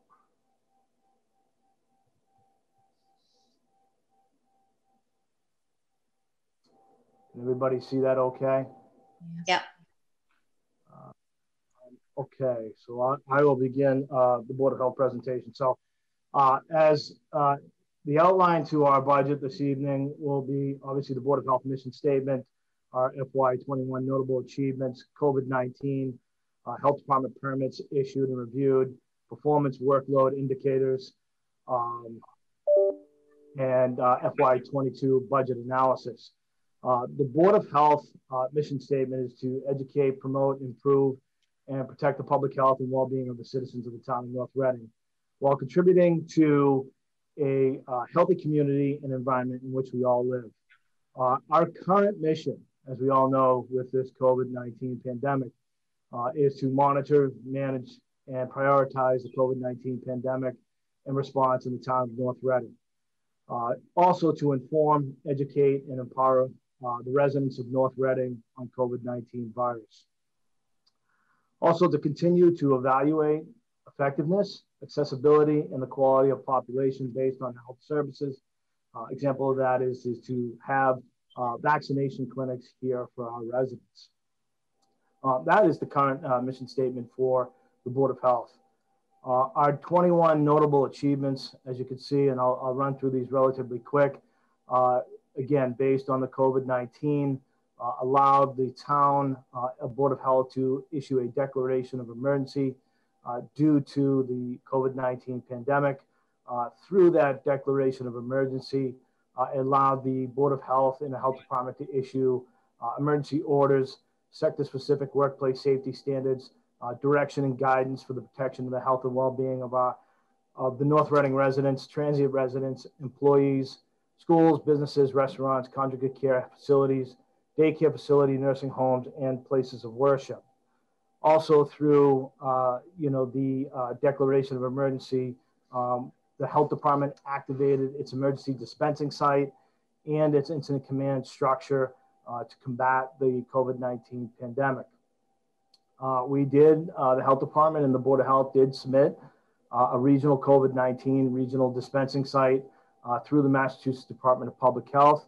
Uh, we also, during the COVID pandemic, we secured funding through the Massachusetts Department of Public Health and the Massachusetts, Massachusetts Area Council uh, in other state and federally funded uh, resources. Other notable achievements, uh, again, through administration, food protection, and environmental health, uh, we implemented uh, sector-specific workplace standards. Food protection, we activated a new food protection software system. Um, community health uh, really was, was the biggest uh, notable achievements here in town. We hired a new public health nurse. we were able through the uh, Finance Committee, Town Administrator, and Director of Public Safety to purchase a new pharmaceutical grade vaccination fridge. Uh, we also developed community influenza programs with CVS and Walmart. Uh, more importantly, we developed and implemented a influenza vaccine program uh, to bring the influenza program to the North Reading schools uh, to meet code compliance with the regulation to mandate all school age children. Um, other implementations through community health, again, was to implement sector specific workplace safety standards for retail businesses uh, in North Reading. Uh, all the while, we were able to maintain code compliance with several uh, Massachusetts state sanitary codes uh, for housing, lead prevention, recreational for camps, standard for swimming pools, tanning salons, and investigation of public nuisances. COVID-19, uh, I put a nice graph on here for folks to see uh, the kind of ride that we kind of took in uh, over the last year from January to January 20th to January 21. You can see early in April and May, um, we had a little bit of a spike and then we kind of leveled out a little bit. And then we got that second surge uh, back in October, November. And as you can see, we're starting to decline on the cases here in the community. Uh, COVID-19 clinics, uh, we have currently have done uh, nine first dose clinics. Uh, we have two pending clinics uh, coming up this week, Tuesday and Thursday. We have done four second dose clinics for first responders, and we have seven pending second dose clinics coming up in the month of March. that will have given us 22 COVID-19 clinics uh, that we have administered here in the town of North Reading. The amount of doses that we've administered up until this point um, will is, is roughly about 505 vaccinations. Um, 65 of those, again, were second doses to first responders, uh, with a total uh, after uh, all 22 clinics um, will be roughly about 570 uh, clinic uh, vaccines, vaccines that were administered. Sorry. We broke it down into COVID-19 vaccination by populations, given the vaccinations that were given to us by DPH. As you can see from this graph, uh, first responders, we did 65, uh, 75 and older, we did 169, 65 and older, we did 235. folks with two or more comorbidities, we did 64, and other 37, meaning probably clinical staff, volunteers uh, that have helped out with the clinics. Health Department permits issued this year. We issued uh, 508 permits. Um, I gave the breakdown here of the permits that we generally issue on an annual basis. Health Department permits uh, applications reviewed. Again, we issued 500 per 508 permits and reviewed 712 building department permits. Comparison of uh, performance workload indicators. Um, I put this in here just to uh, indicate that, uh, you know, we did have some increased hours uh, with the public health nurse last year. Um, but just to note that, again, I think what's important to note here is that with the COVID-19, um, there's going to be a significant increase in workload uh, with the health department with some of these COVID-19 sector specific workplace safety standards becoming uh, Massachusetts state sanitary codes. So that's just an indicator of that the workload will be increasing with the health department uh, over the next year or so. Um, with that being said, the Board of Health budget has relatively stayed the same uh, over the last three years. The only decrease in uh, the department budget uh, from FY21 to 22 uh, was the decrease in the administrative assistant salary uh, going from a new hire last year uh, from the previous um, administrative assistant. The FY22 goals uh, going into next season will be management of the COVID-19 uh, through the health department, uh, to lead the community through the COVID-19 pandemic, again, to monitor, manage, prioritize the COVID-19 pandemic uh, by informing, educating, empowering residents, uh, by continuing to evaluate the effectiveness, accessibility, and quality control based on public health services. Uh, also, uh, to work with the public health nurse to expand community public health services uh, through the community impact team, council on aging in the North Reading schools. Uh, also, to seek opportunities through state and federal funding to expand uh, inspectional services and food septic inspections, uh, and to continue to implement the 10 essential functions of public health for the betterment of the town of North Reading. And that was it. Sorry to be so quick. I had five minutes. That's great. Let's see if we have, that was pretty concise. Let's see if we have any questions or comments. Mr. O'Leary.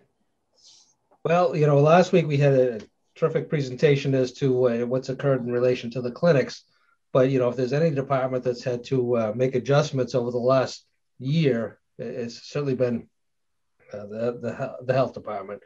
Um, their, their responsibilities have not diminished one bit. You know, they still have all the oversight and all the uh, concerns that they have in relation to, you know, establishments, eating establishments, uh, septic systems, the new permitting, the whole nine yards. And in addition to that, had to take on uh, this whole responsibility in relation to the pandemic and has uh, certainly risen to uh, the challenges. I mean, we were prepared, you know, thanks to Mr. Bracy, uh, the health department themselves, the uh, Board of Health, the administration, the finance committee, this particular board, select board and their support. Uh, we were ready to address the needs of the community when it came to having a, a vaccination site here in North Reading and um, rose to the occasion and did a fantastic job. Uh, again, state made a decision to uh, pull the rug out from underneath us, but that's another issue that we discussed last week. But um, again, this is the time and opportunity to uh, again recognize uh, the efforts of everybody. This is not uh, something within a 35 or 40 hour work week uh, that was able to address it. These people put in substantial amount of time and effort and energy, along with a significant number of volunteers uh, from our administrative staff and from the community to, to meet the challenges uh, that we've had. So um, kudos to everybody. Um, kudos going forward because it's not over. And, uh, you know, what you've done and what you continue to do is greatly appreciated.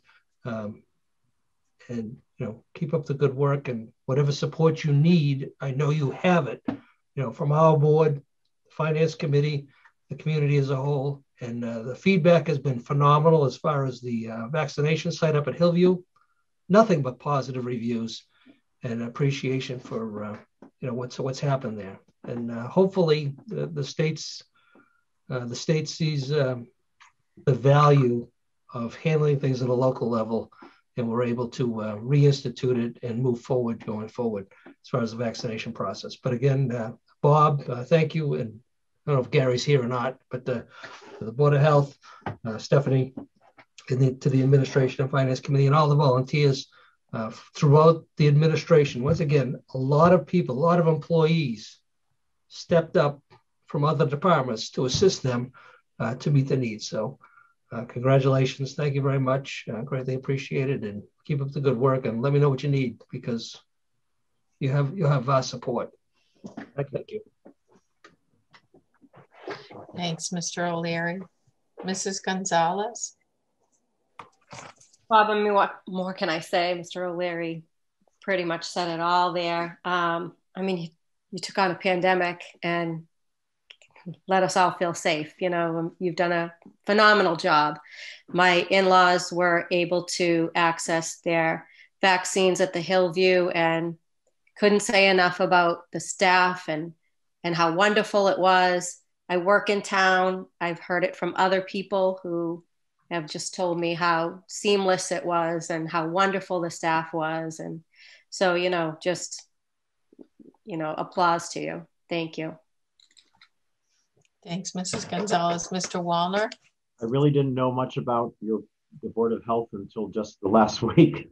And now I realize how thick it really is. So thank you for all you do and for uh, taking care of our citizens the way you do. Thank you. Thank you, Mr. Stuto. Um, it's already been said. Rather than me repeat it and go through another five minutes, I, I it, it, everything I want to say has been said. So I'm going to say thank you for your work. Yeah. I'll say the same. I'm just going to say ditto. Um, I just have one quick question on your um, your presentation. I don't even know if you tracked this, Mr. Bracy. Did the number of permits decrease? It, it looked like you had a pretty significant number of permits that you still issued during the pandemic. Was that low, lesser than what you had anticipated? I'm not sure if you even tracked it. Yeah, so we, we had lesser permits this year due to COVID 19. Um, generally, during the summertime, we'll get a lot of temporary food uh, applications um, for festivals or events, and, and we, we didn't have those uh, this year um, due to the COVID. Okay. And, and Madam Chair, if I may, just in closing, if it's okay. Sure. Well, uh, the finance has, I have to pull the finance. We're not done yet, but we'll let you have, we'll let you speak at the end just in case other people have. But we know, we just, we really appreciate the tremendous job you, the board, you and the Board of Health do for the town. And um, Steve's been, get, Mr. O'Leary's been giving us the regular updates as the liaison. You just kind of mobilized and went into high gear. And like Mrs. Gonzalez said, you helped us to have that sense of safety and security that we needed as a town. And we know you were ready for this and could handle it and tackle it and everything else that, that came your way. So we just, I'm just going to echo what everyone said and say thank you. But let me just ask the finance committee if they have any questions. Mrs. Hurlbut. Um, I don't have any questions, but Bob, thanks for all your gang has been doing over the past year and before that. Thank you. Mr. Gamer? Just awesome, awesome job. And just let us know what you need going forward to keep doing what you're doing. Thank you. Mr. Johnston? Uh, no specific questions. Just that um, I know I was glad that I know one one of my family members was able to get over there, which was difficult for a senior. So appreciative of all the work you've done. Thank you. Thank you. Mr. Hegarty?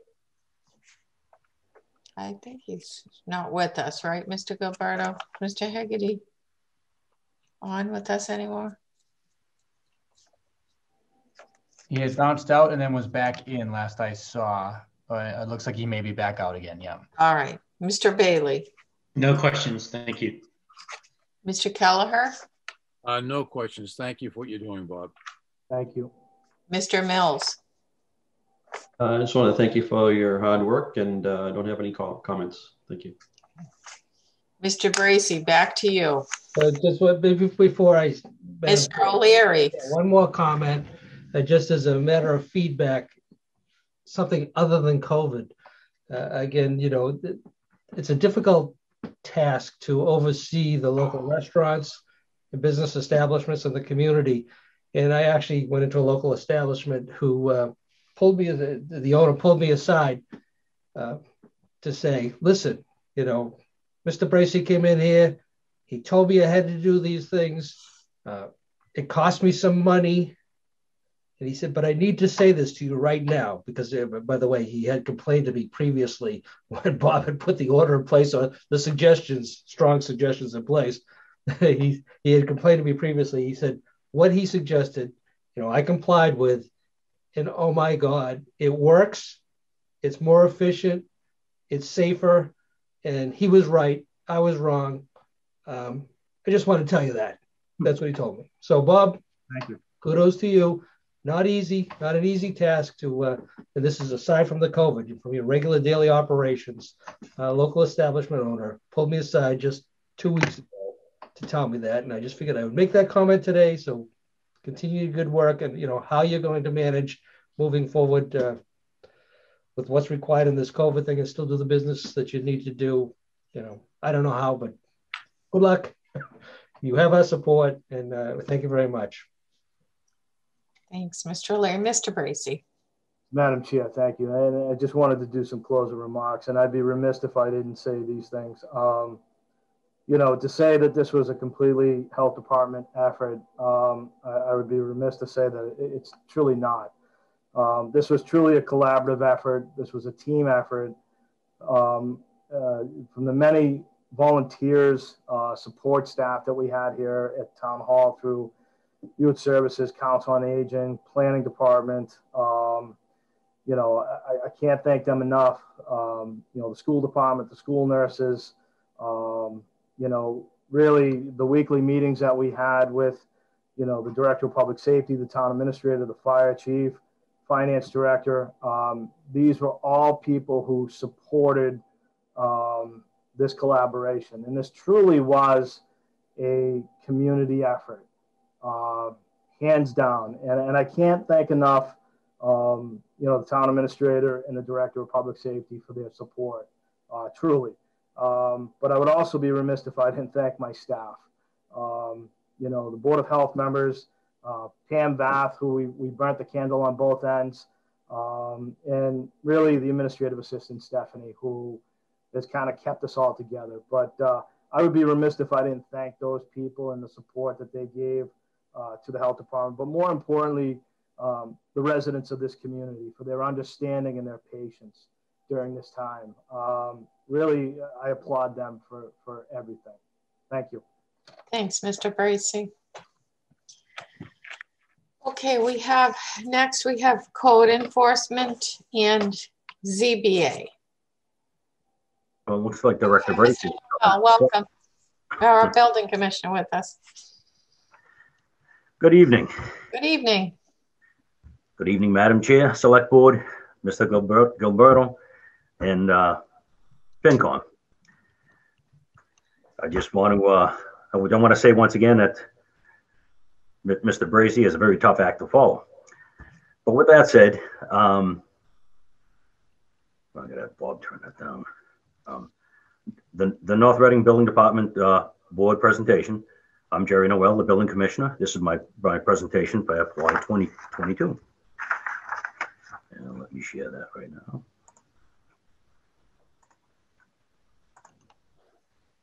Can we all see that? Yes. Okay, I was having a tough time with that earlier.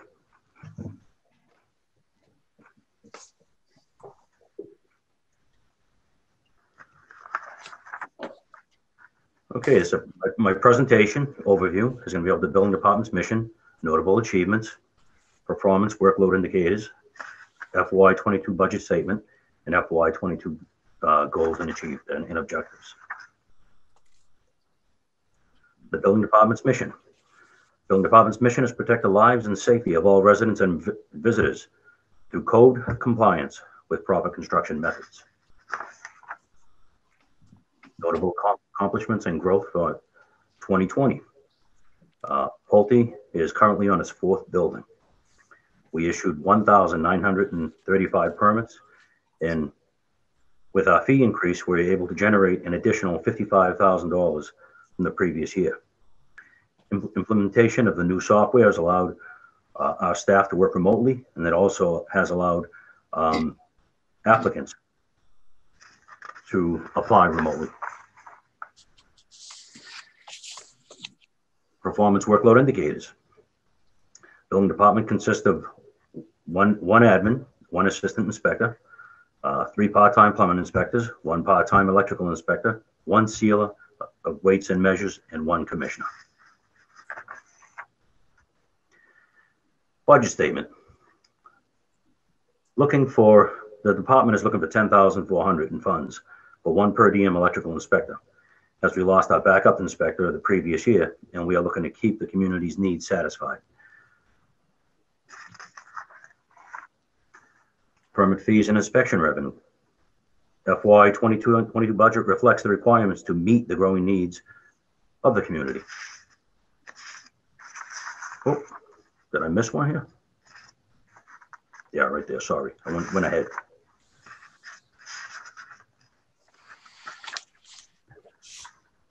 Permit fees and inspection revenue. As previously stated, we collected over $55,000 over the previous uh, year's revenue. This is partly due to a fee increase. Our total fees collected is $581,691.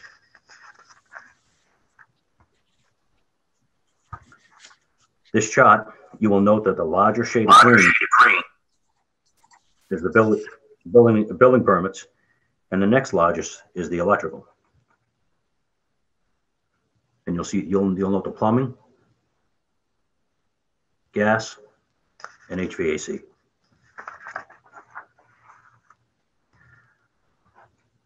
This, the, for the new permits for, for the year, we had 712 total. That's just building permits. That's not collectively. We've had a total of 2% more permits than last year. And that's a total of 36 more permits um, issued, which is uh, from with the pandemic that we had, this that was quite an achievement for this department.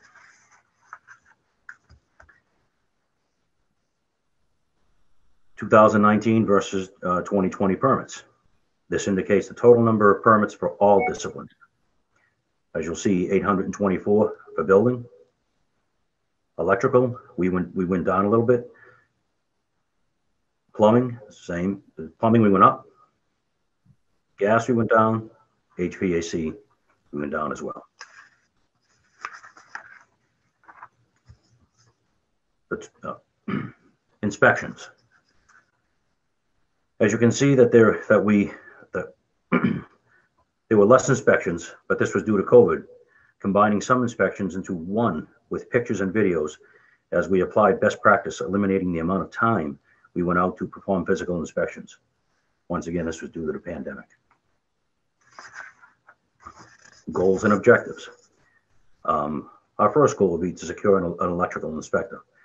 Um, we, we need to meet the needs of the community. Um, especially the residents and the businesses.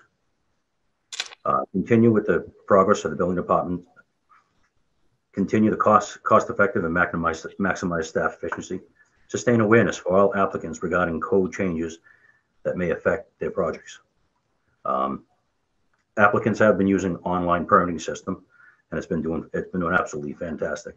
Um, Kathy Morgan has been absolutely stellar with this, and she's been really pushing these applicants to to make sure they get um, everything they need relative to the, the permitting system. Um, and that, that's uh, pretty much uh, my FY 2022 budget. Anybody have any questions? Thank you. Um, we'll start with Mr. O'Leary. Gary, thank you for all that you do. And again, it's been challenging in relation to the inspectional services part of it, you know, being on site, but um, also with the passing of Al DeSalvo, you and your staff have had to, you know, pick up the the, the slack, and I know Al's presence is deeply missed. Um, but I, I, also know that just from what I do here now, it's tax season. Um, new permits for you know additions and improvements to people's homes. Since people are hanging around, they're, they're noticing more things that need to be done around their home, and uh, I have more people now um, looking for energy efficiency uh, credits on their tax return. So, you know, I appreciate all, all that's being done. Uh, you're picking up the slack in the absence of Al. And in, in relation to uh, Al's passing, uh, do we see, we don't see a need at this particular point in time to uh, add additional hours or an assistant uh, building inspector? right now, we're, we're able to manage it and we're able to handle this. Um, Inspector Anzalone, um, he has been absolutely stellar. I can't, uh, I have to speak volumes of him as, as recently he just passed his test. He is now a certified building inspector. Um, so the building department as a whole has been, you know, has continued to work hard and they've continued to work hard ethically. And I'm, you know, I'm very proud of them. Well, that's, uh, it's good to hear it again. I appreciate all the effort, the additional time and uh, energy that you're putting in uh, to pick up uh, pick up the difference that, that's needed with Al's passing. And, and again, th- there's no doubt the permit the permits are not going away.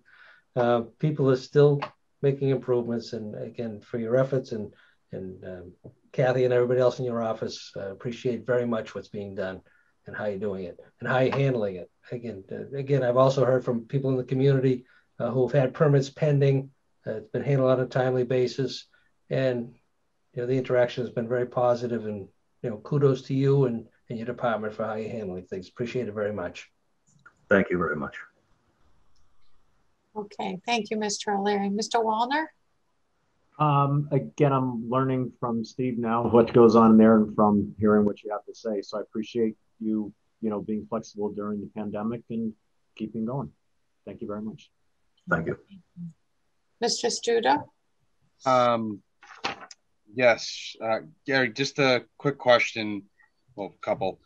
Um, so I see that the building building permits are up. So that building permits encompass what um, what people want to do their existing home. Does that also include like new construction permits for new homes? Yes. Okay. Do you do you have the number handy? I mean, we can even take it offline of how much that is for new construction, single family. How many new single family homes there are? Well, no, no, the building permits for how many? How many of those building permits accounted for those last year? If you have that. I have it right here. And building building permits for last year was 676. This year is 712. This okay, 712. 712 this year. But that's just permits. That doesn't include permits. That, that, that does not include all permit activity. That doesn't include um, relative to all disciplines. If you look at the, the, total amount of permits that we had, um, we had 1,935 permits collectively. Oh, I was just, yeah, no, I was just curious out of the building permits of how many were for actual uh, new construction of homes rather than just renovations or what have you. So that got me that answer. And um, and then a question here. Roughly seven, 17. 17? 17, roughly, yeah. For this coming year? Or for last, last year? For last year. This coming year, we have uh, we have quite a few developments. We had uh, Eaton Circle. Um, we have Crest Crestview Estates. Um, we have Shea Lane. Uh, Woodcutter Lane, which is 77 Elm Street, which they've already they, they just started the retaining wall over there. Um, we have the Charles uh, Street extension. Excuse me. No, I saw that. I, I live right by there. Yep. Okay. And of course, All we right. have the, the the Pulte project, which is uh, you know nine buildings co collectively. Of course. Okay. No, thank you. And then, oh, actually, one last question. I'm sorry, Madam Chair, and I don't know if this is uh, and again, being newer to this, like Mr. Wallner said a lot, I'm kind of learning on the fly. But how um when a when a permit's uh, pulled for new construction, um, how is it almost 100% they get billed, or there's some that fall on the wayside that do not get billed after all? Out of all of them that get that, no, I, I would say all of them get billed. Okay. Unless they have any zoning issues, but usually usually they don't. Okay. We Thank you. Thank you. Mrs. Gonzalez. Hi, um, I just have one question. I'm having technology issues here. So, um, you were saying that you need a an electrical inspector. Is that what you were? That is correct. Uh, an assistant electrical inspector. What do you? Is there a cost on that? Is there? a- Ten thousand four hundred dollars. Okay, that's what I was looking for and we it's really difficult. We can't share other communities' electrical inspectors. Reason being is they're in the same predicament as we are. Um, they can't find anybody, and a lot of these electrical inspectors in these other communities are are all retired. So it's just very difficult to um, try to try to secure them to come here. And our electrical inspector can't even take time off. He can't take a vacation. Um, mm. So he's he's basically stuck here. So, and he's been doing this job for two years straight without taking any time off whatsoever. Okay. All right. Thank you. Thank you. Um, I just had a couple of questions too for you before we get to FinCom. When you gave us that breakdown of the number of permits um, between 20, uh, 2019 and 2020, is that what you gave us or am I in the wrong, was I in the wrong year? No, 2019 and 2020. That's correct. Okay. So it is, was that over the same period of time that you were Correct. tracking it? One year. One year. That is correct. Okay. And then I had that, I also had the question that I wanted to follow up on um, Mrs. Gonzalez's question on the assi- assistant electrical engineer. So right now you just have that one person. I think you asked us for this last year as well. So We did, did but we so- did, but we took it out of the, the budget because I, I think because of the pandemic. But I do know that we do need this desperately. And you haven't seen a decrease in the, okay, well, you haven't seen a decrease in the. No, no. Ms. Roy, You haven't not- seen a decrease in the nest, the number of electrical inspection, inspections that are required, right? Well, even if there was a decrease in the number of electrical inspecting, inspections that are required, um, how would I fill that position when this electrical inspector goes on vacation? I need to meet the residents' needs and I need to meet the community's needs at, um, as a whole. No, I, I was basically asking you just about the number of electrical permits, though. I, I understand the employment issue. I was just wondering, have you seen a decrease in the number of electrical inspections? Electrical permits this past year, we did see a decrease. It, it, we seen roughly, uh, 30, 31, 31 less. So that was, uh, 464 electrical permits. And electrical inspections, we did have a decrease. Once again, we had a decrease because of the pandemic. We basically relied on pictures and videos. So it was, uh, I mean, we could include those pictures and videos as the, as part of the inspection process, but it, it wasn't an actual physical inspection. Okay. Ms. Ms. Rourke, I don't know if you wanted to add anything, but we're probably wondering how you just, go ahead, Ms. Rourke, go ahead. Hopefully my, uh, Oh, we can hear you. Good.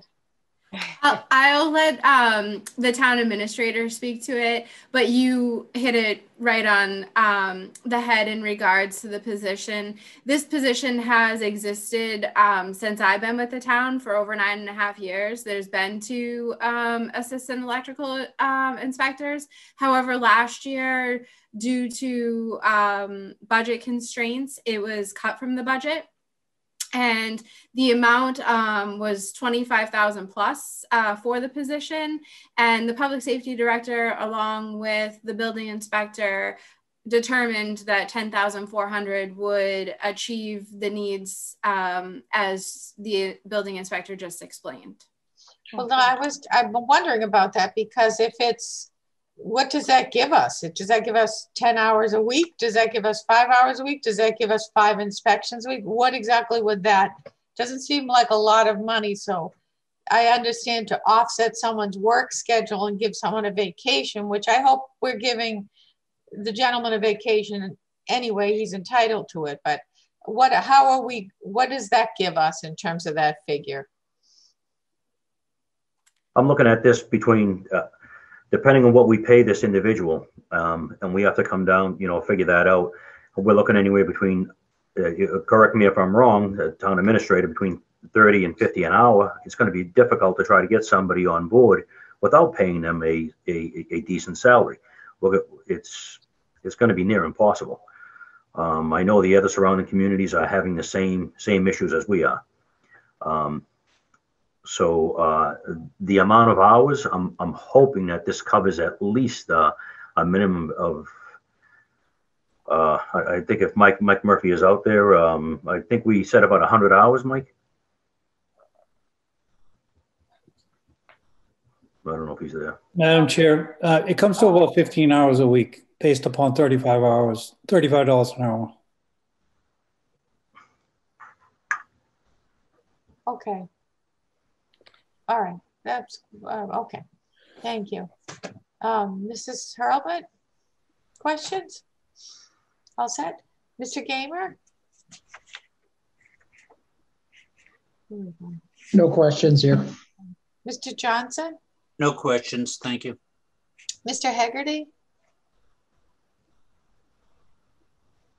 Oh, I'm sorry. Mr. Bailey is not with No us. questions. Mr. Kelleher? No questions. Mr. Mills?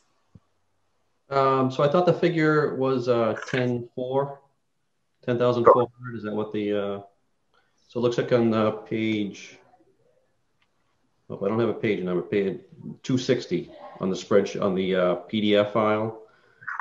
Looks like the vacant position was allocated at eight hours a week at $25 an hour.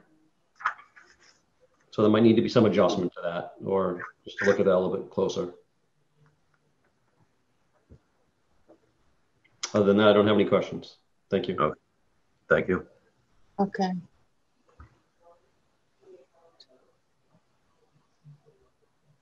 Mr. O- Mr. O'Leary. I know that begs for a follow-up. I should use Mr. this little O'Leary. thing to raise my hand, but I, I I can see you. It's all right. I know. Uh, just a couple of a couple of uh, points.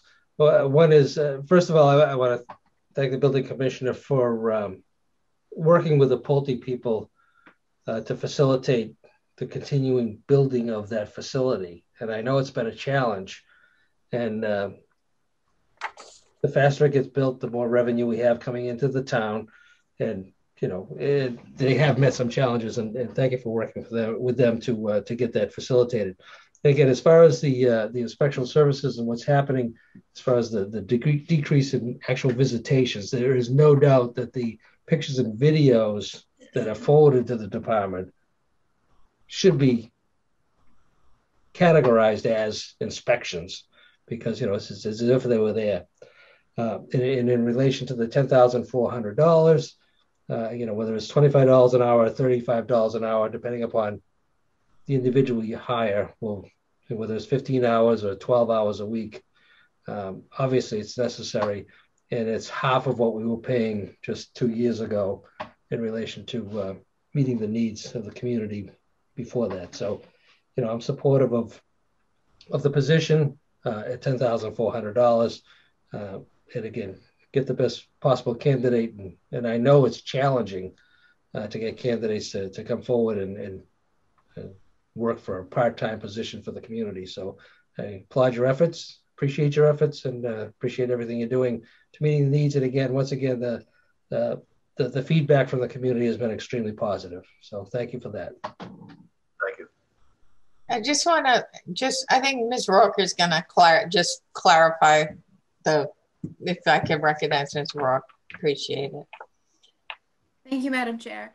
So, um, what was discussed between the public safety director, the town administrator, and the building inspector was to put a lump sum of ten thousand four hundred um, dollars within the budget. Uh, the old hourly rate was left within the the spreadsheet uh, by error. However, you know, one week if the other electrical inspector is on vacation, you know, this individual could work 20 hours. Um, the next week, five hours may only be needed. Uh, so that is what the thought process was. There's no particular set hours per week for this individual. So those figures were um, formulas that were, were left in from the, the previous uh, spreadsheet. So the, it's a lump sum of $10,400 to be spent over the course of FY22.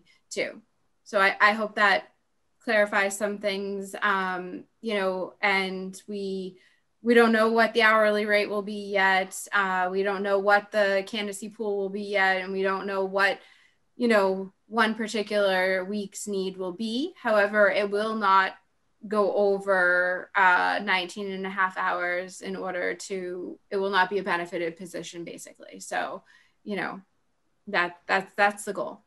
Okay. It, it, so in other words, it's not, you're not bringing someone on as a part-time employee. It's almost like you're just, you need, you're going to need someone who's per diem, per diem or per, per job or just moonlighting as is it. It seems like if other people are having this struggle, you, maybe we should talk to the other communities. Everyone can throw 10,400 into a pool and they, the person he or she can work one day for each of us, you know, for, for, for the five days a week, you know. It seems like it's, you know, if everyone's struggling, it seems like we're all in the same boat. Maybe people, maybe if we don't have the funds to bring someone on as a regular, either part-time employee, regularly employed or full-time employee, maybe that's the route to go to see if there's some sort of, you know, I don't know if you've explored that, but maybe that, maybe we could explore that shared, a shared employee amongst the towns in this manner, in this per diem manner, you know. Um, all right. So if there's nothing else, I think we're good. Thank you for, uh, thank you, Mr. Noel. We appreciate it. Thank All you. set. Thank Okay. you. And our next um, budget is the town clerk, and we have clerk stats with us. Welcome. You're muted. Hear me?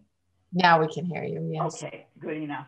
I'm never sure if my audio is working. So um, thank you very much.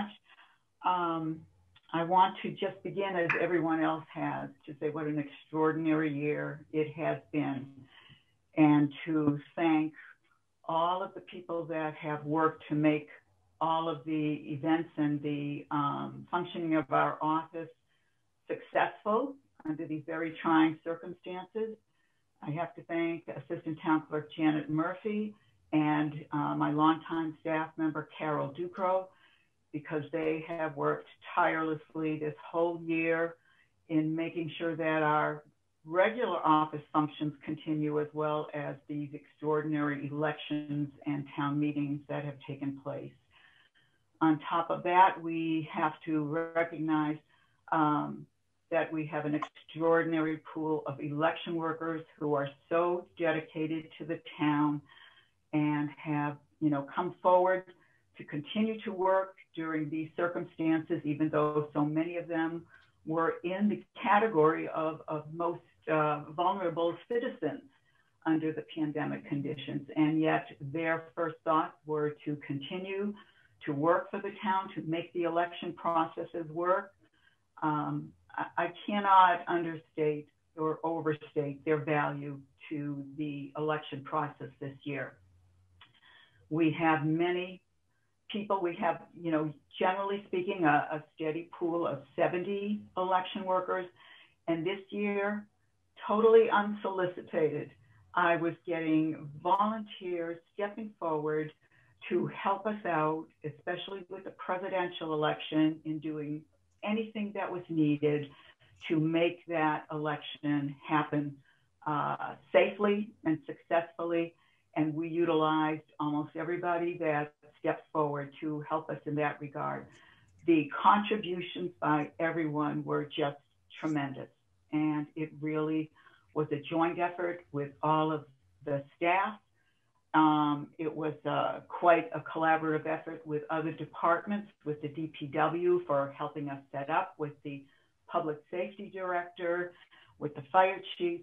I mean, to make all of this happen when we're talking about uh, running um, mandatory, required elections and town meetings under very strenuous and um, unpredictable circumstances and uh, trying to keep everyone safe, not just the uh, participants, but those who worked within the system.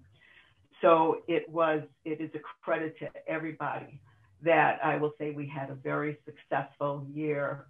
Um, that being said, you know, again, I have to backtrack to my office staff because in addition to just running all those events, um, we also had to maintain our normal work, you know, and that includes, you know, being responsive to the public there. They were looking for vital records. There were numerous public records requests, which did not see any relief under the pandemic conditions. There were no leeways given to deadlines for um, many of these things, especially public records requests. People who wanted to continue to get business certificates, um, making sure that everybody was working under the open meeting law and ethics requirements, um, and something as simple as um, marriage licenses, you know, things that people depend on. We were really one of uh, not a lot of communities were continuing to issue marriage licenses when we were doing so to make sure that these life events for people could continue. Um, it really made a difference to them. And a lot of that credit goes to our facilities and the town administrator for setting up a very workable uh, public area in the foyer of Town Hall where we could conduct business with a plexiglass barrier and still maintain that personal contact with the public to continue um, giving them these services that they need. So there was a lot going on this year. There were a lot of adjustments to be made. And I think that everyone stepped up and really um, did their best to make sure that the residents and other members of the public were serviced uh, in the fashion that they're used to and that their needs were met throughout all of this craziness and um, very difficult situation. Um, so I, I, just say kudos to everybody who, who worked throughout this.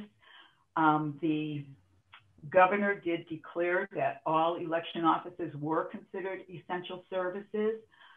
I would say that except for at the very beginning when we weren't, we really didn't know what was hitting us with this pandemic and we had to close down just as um, the um, council on aging director said i mean we we got notice that we were had to close down just uh, get out you know be safe and then we started to come back. I don't think that my office was closed one day. There was a continuing rotation of staff to meet the needs of the people. And then as we got into our election scenarios in particular, um, we were working every day, every evening, and every weekend just to make sure that we were registering voters, hundreds and hundreds of voters, and we were processing thousands and thousands of mailed ballots, all on very short notice with changing election laws. As many of you have said before, and you've heard from other departments, we didn't know what we were being hit with, but we adapted and we made it happen, and it ran successfully. So I just want to thank everybody that that partake, partook in all of these efforts and for all of their work and dedication to make it happen. So it it it was no small task. And it wasn't my first rodeo, so I can tell you that it was a year like no other that I've ever seen, you know, in my career with the town. So that being said, um, for my budget, if I think Liz has my PowerPoint.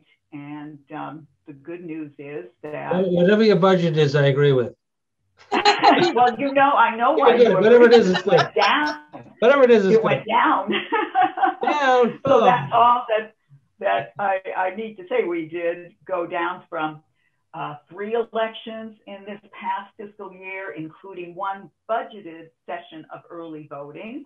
Although we did have in the calendar year two additional uh, unbudgeted sessions of early voting, which, as I said, were thrown at us at the last minute by the legislature.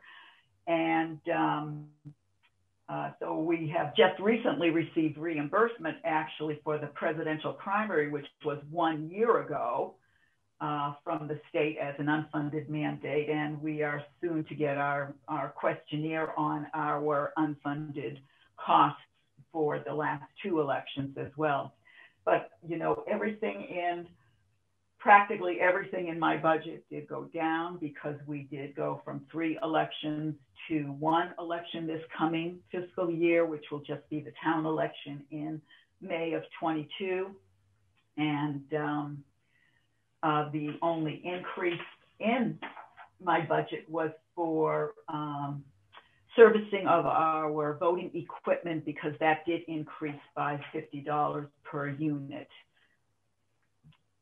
So I don't know if you even want to see my PowerPoint. Maybe it's it's not needed. Ms. Brock, $50 per unit I think outrageous. has her hand up, clerk Stats. I was I was not sure if you would like me to share my screen for Barbara's presentation. Do you have any, I, um, I think you just, sure, if, you- if it's something that you, you want us, It just will show the decreases, you know, we can skip right to the pages, um, I think it was six and seven, Liz. Maybe if you backtrack that one slide. right there, oh, Yeah, that will just highlight, you know, the three elections in the current fiscal year to one coming up in this, in this budget. okay. Um, and then the next slide will just show the records budget uh, decreases. As I said in, in past presentations, that our budgets somewhat overlap because many of the costs of an election are also carried in the records budget, such as the just even the first line item repairs and maintenance. That's all our office equipment, and in particular, this one is um, the copier charges you know, obviously with three elections, you're going to make more copies. That's a bigger monthly cost. Um, so that being said, that diminishes. Advertising is reflected in the election notices. Printing is primarily envelopes. The, the thousands of envelopes that we had to order to process all of the election notices that are mandated by the law to send out to every new registrant, every registrant who changes party, and every registrant who moves to another town and registers in another town that we've deleted them. So, and the mailroom postage diminishes um, from the mailing of absentee ballots. Um, that, that a lot of that cost this year was, of course, carried by the state um, for returning ballots to us. That was part of the legislation that was mandated of the Secretary of State.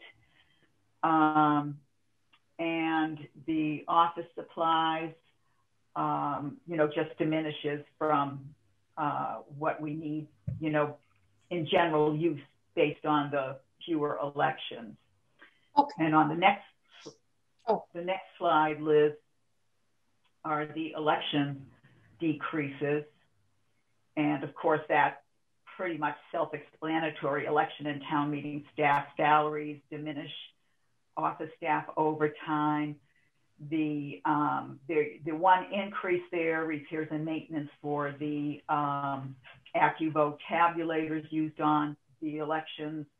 And we have seven of those. We use four at the polls, of course. We have three that we've acquired. One was our own spare, and I acquired two additional spares at um, quite a, a steal because these units are being replaced um, by newer equipment. So I was able to actually purchase one for $50 and one for $1 at some point. Um, but they served us very well during um, the presidential election when we actually did advanced processing of ballots. And I had borrowed another one from our vendor who loaned it to us free of charge. So we actually had four tabulators working on election day. But before that, we had tabulators working at the town hall by uh, sets of election workers who were processing advanced voting uh, ballots. And so we were able to have separate machines set up for both of those going simultaneously. Um, obviously, police details and um, constable, DPW, those costs go down. Um, printing costs went down a little bit. That's really not election related so much as it is that I ordered less fewer street lists because we knew we would not be selling as many. Um, and supplies diminishes because of obviously needing fewer uh, expenses for the fewer number of elections. If anyone has any questions or comments, okay? Mr. O'Leary. Mr. O'Leary. Uh, first of all, you know, oh my goodness, you know, talk about timing and stress. I mean, the whole thing hit at all the wrong time for well, every department, every office, but in particular Barbara's relation to the, the, the presidential primary, the town election, the state primary, the presidential election, all those things coming at the same, you know, it just early voting, mail-in voting, all the nuances and all the things that we we never encountered before, you know, maybe contemplated but never encountered. Um, you handled them handled them masterfully, and and again, it, personally, you know, I was um, questioning a lot of things early on. You know, how are we doing this? How are this? Through the town administrator, and I'm sure it got to Barbara. Um, but you handled them very well, you know, and, and things have, have smoothed out and did smooth out, and people were able to vote easily. And kudos to everybody, you know, including you know your staff, but you know the volunteers and, and the election workers, and I would say 70 of them. Um, and again, who most of them, as you pointed out, were in a vulnerable stage from an age standpoint, and still step forward to ensure that you know the election went forward here, and uh, you did a masterful job. You pulled it off. In addition to our outdoor town meetings, our indoor town meetings. oh my goodness, you know the, the, the challenges in the in the short period of time that, that were faced, you know, by, by you and your, your department were unimaginable at, at best, and uh, you did a, a, fabulous job. You know, in addition to that, handle all the normal workload. Mm-hmm. You know, kudos to you. Uh, and you've also implemented a lot of uh, new processes in relation to technology where information is more available technologically before, because again, this whole process has forced us to move forward more quickly and, and, and good for you. Um, my, my only question and or suggestion or asks is, um, you know, locally, are there things that we can implement now that we've experienced or any changes based upon those experiences that we should be trying, whether it be the mail-in balloting or whether it be early voting, you know, and what are those costs associated with those? Because to me, I think that's what we're looking forward, looking forward. That's what we're going to be looking at anyway. I, I think the legislature at the state level is going to be allowing those types of things. Um, you know, should we be moving forward to implement, you know, the mail-in voting, the early voting, uh, the you don't have to give a reason to do absentee voting. Um, and now the, the costs associated with those. And should we be looking at that now rather than a year or two from now? To me, you know, I think it worked very well here in Massachusetts. Across the country, I'm not going to opine on, but um, you know, here and locally, you handled it masterfully. Uh, we have a pretty good idea as to what the uh, additional costs would be if we were to implement some of these changes. And if we're allowed to do it locally, I think we should. We should make it as easy and accessible as possible for people to vote. What's the cost associated with that, and what should we be doing to, to move forward? Because I don't see it here. I know you haven't been requested to do that based upon the, the budgetary constraints, but to me, that's what we should be looking at and anticipating you know, there are there's legislation out there now. Some of it has been filed by the Secretary of State and some, you know, by by legislators to move forward with um, making some of these laws, a lot of these laws that um, were thrown at us temporarily last year, permanent laws, and that does include um, mail mail ballots, you know, mail-in voting. I'm quite in favor of it statewide. I want to make that clear. I'm not so uh, apt to support it just on the local level, like one community doing it. I think that it needs to be accepted on the state level because I think it will only create confusion for residents who may move. And there are a lot of residents that move from town to town in Massachusetts every given year. Every year we do the census and um, we see these changes for residents to move from one community to another and they're used to having something in one community and it's not available in another, that to me is just not a good way to go when you're talking elections. I think it needs to be done on the state level. I think it is going to be done on the state level. I fully anticipate that there's been such a tremendous support for this, that it's been shown, as you said, Mr. O'Leary, to be successful in Massachusetts. I'm not going to speak myself about other parts of the country for sure. But Massachusetts has always had, I, I believe, very good election laws. I do think that there is an opportunity for, for unfettered voting access.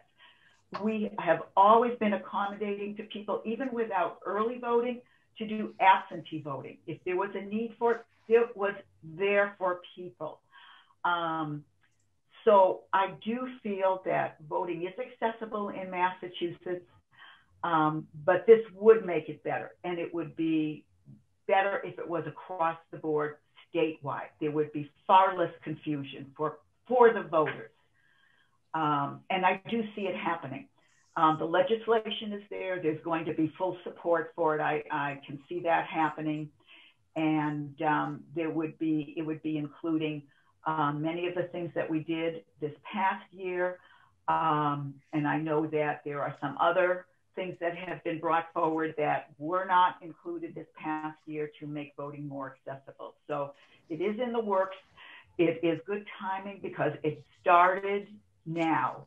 The bills have been filed and this is going forward looking ahead to 2022. It gives the um, legislators and uh, hopefully all of our voices time to, to chime in and get this to work uh, well for all of the communities, to make it work for large communities, small communities, cities. There are different needs depending on the G, uh, demographics of every community, and those issues have to be addressed because sometimes the one size fits all doesn't work, but the general overall concepts you know, need to be applied.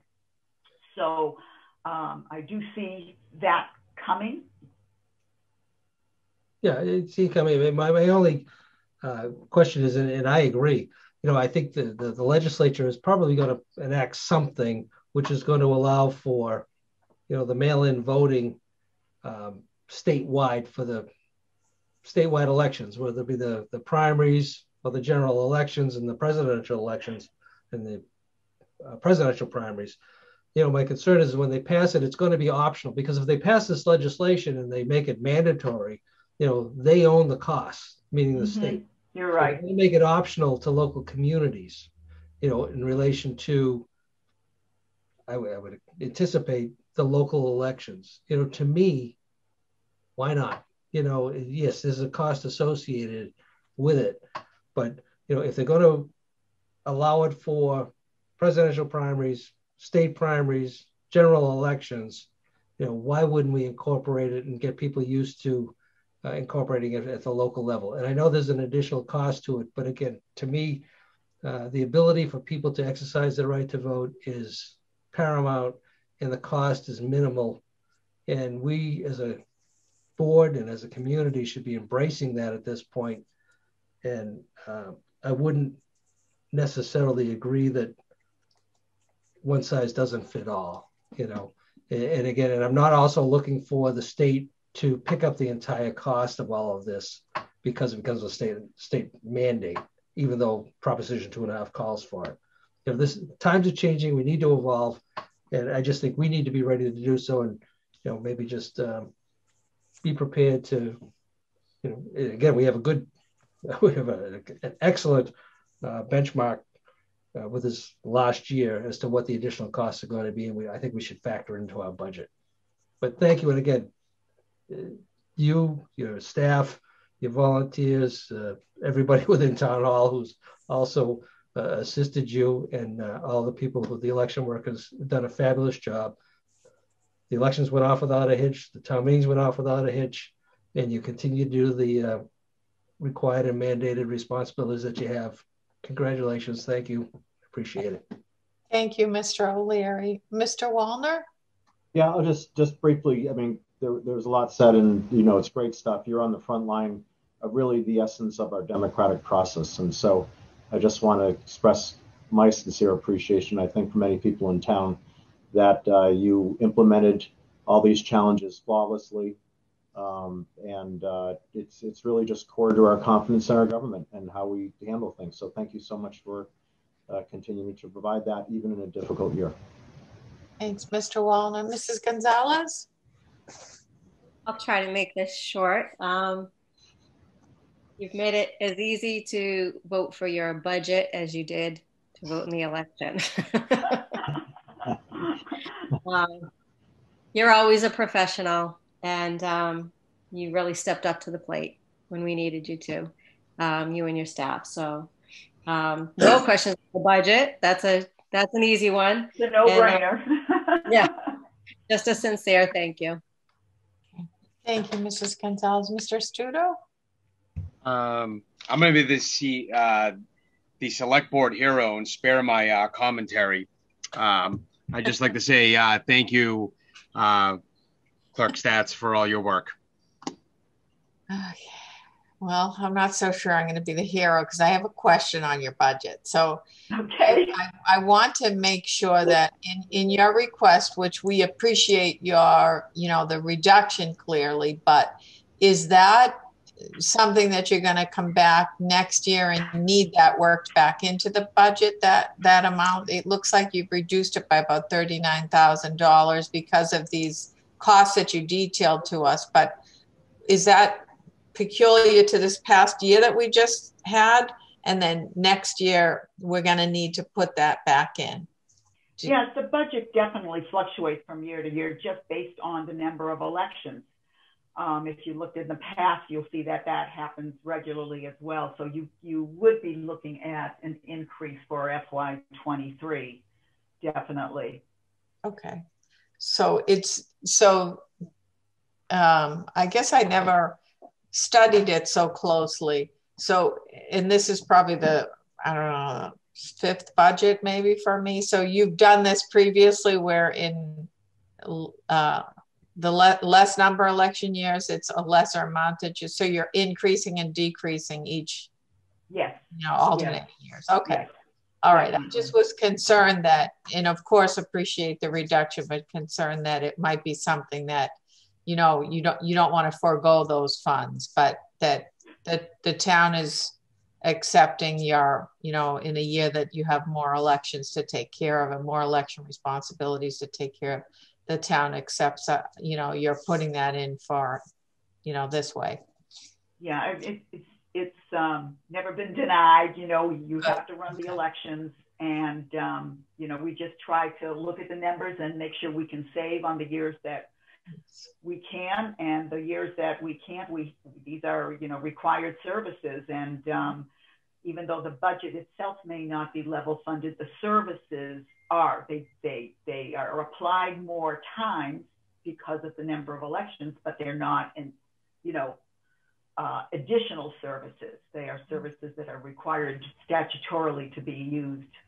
Okay, and I just want to say thank you too, very briefly just a tremendous amount of effort that went into it and people didn't just show up that day and it was set up that day it was hours and hours of and a, a, a you know a multitude of, of staff and volunteers going into it and i want to say thank you too we'll uh, turn it over to finance uh, mrs hurlbut it's pretty hard coming after all of you guys that have really said everything that the finance committee probably would have also said. But there's a reason why I refer to uh, Barbara as the town clerk to the stars. That's a good title. Well, I keep your meeting notices going too, Abby. but I do that my is no small task. no, it's but now you have one Zoom invitation for the entire and it's posted. All right. Thank, you. Uh, Mr. Gamer.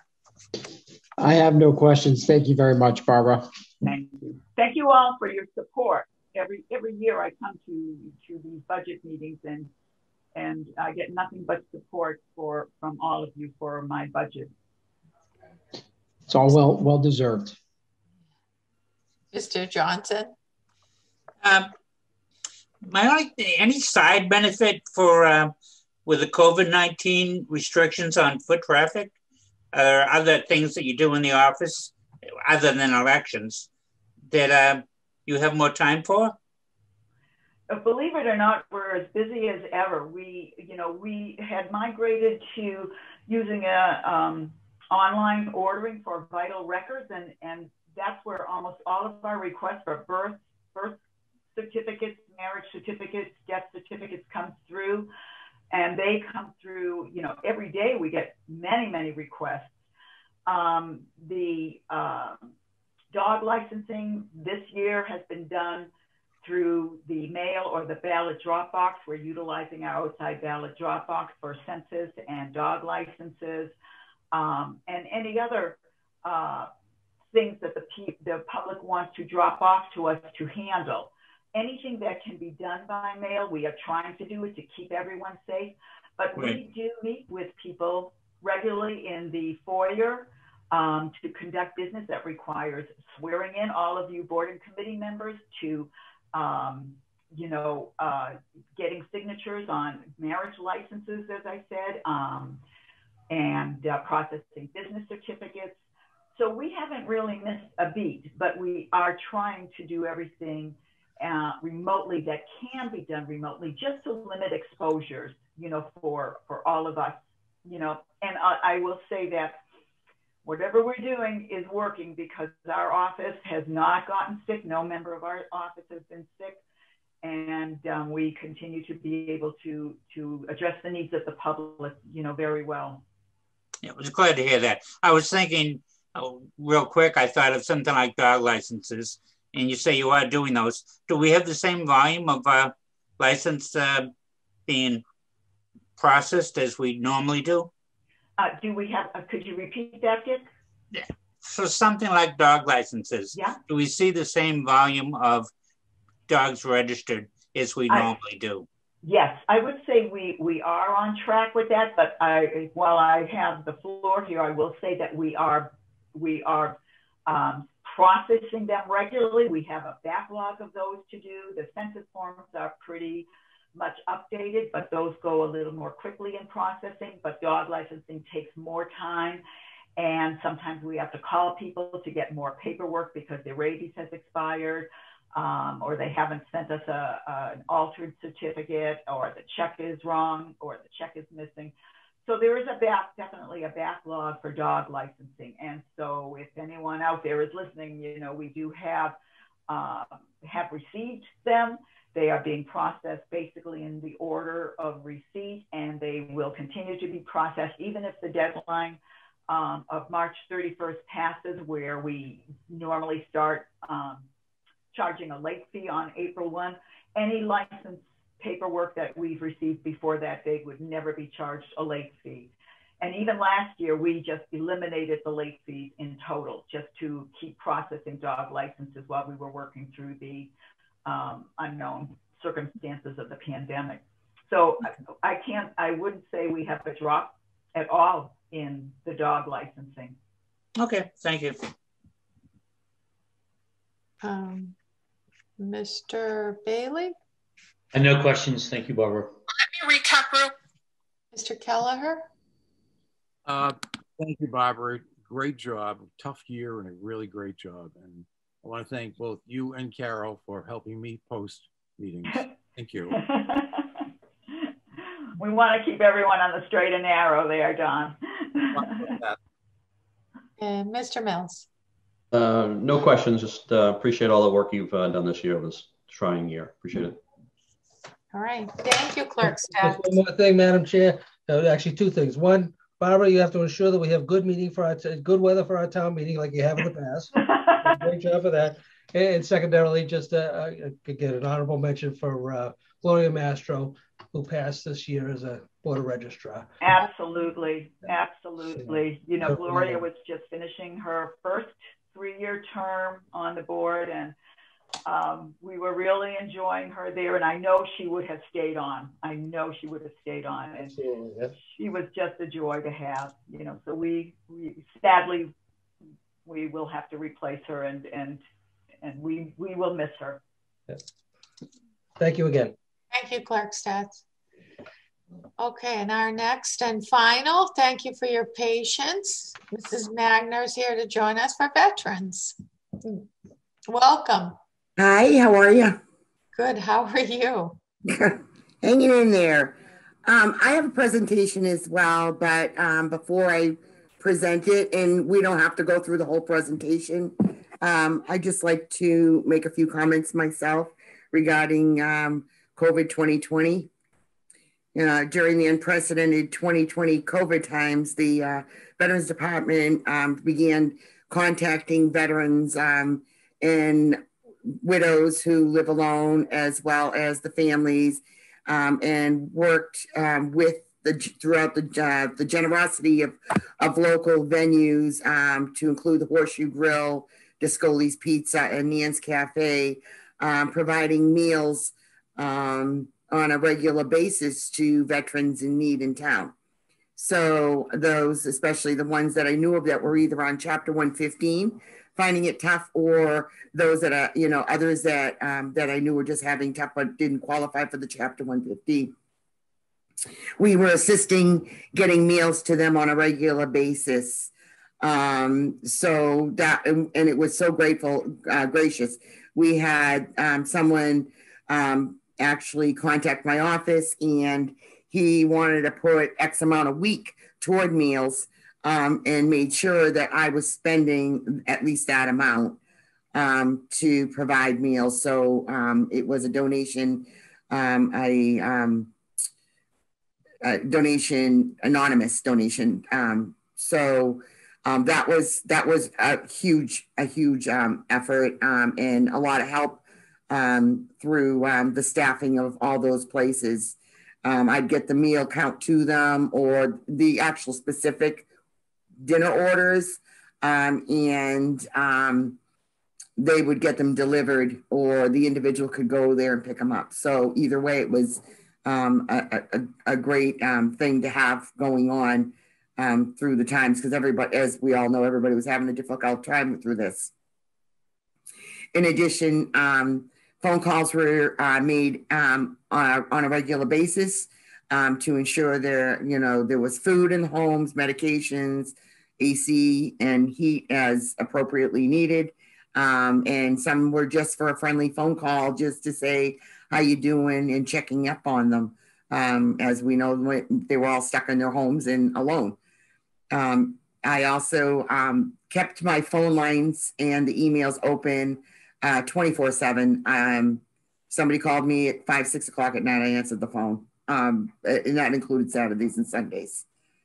Um, so the lines of communication were constantly there and open for anybody in need. The, um, the other thing I wanted to note was um, through local volunteers to include um, uh, Jerry from, from uh, Ryer's store, um, Connor McIntosh. Cards were made up um, for veterans for Veterans Day as well as Christmas. And we, I had, deli- I, I had delivered um, over um, 300 cards um, for um, Christmas. And then for Veterans Day, there was over 500 cards we had, excuse me, over 500 cards um, that were mailed out to different, uh, to the Bedford, uh, the Bedford uh, VA volunteer center to get them out there, um, as well as to local nursing homes for veterans in local nursing homes. In addition, um, also um, cards were mailed out through me to the to those on Chapter 115 for Thanksgiving and Christmas too.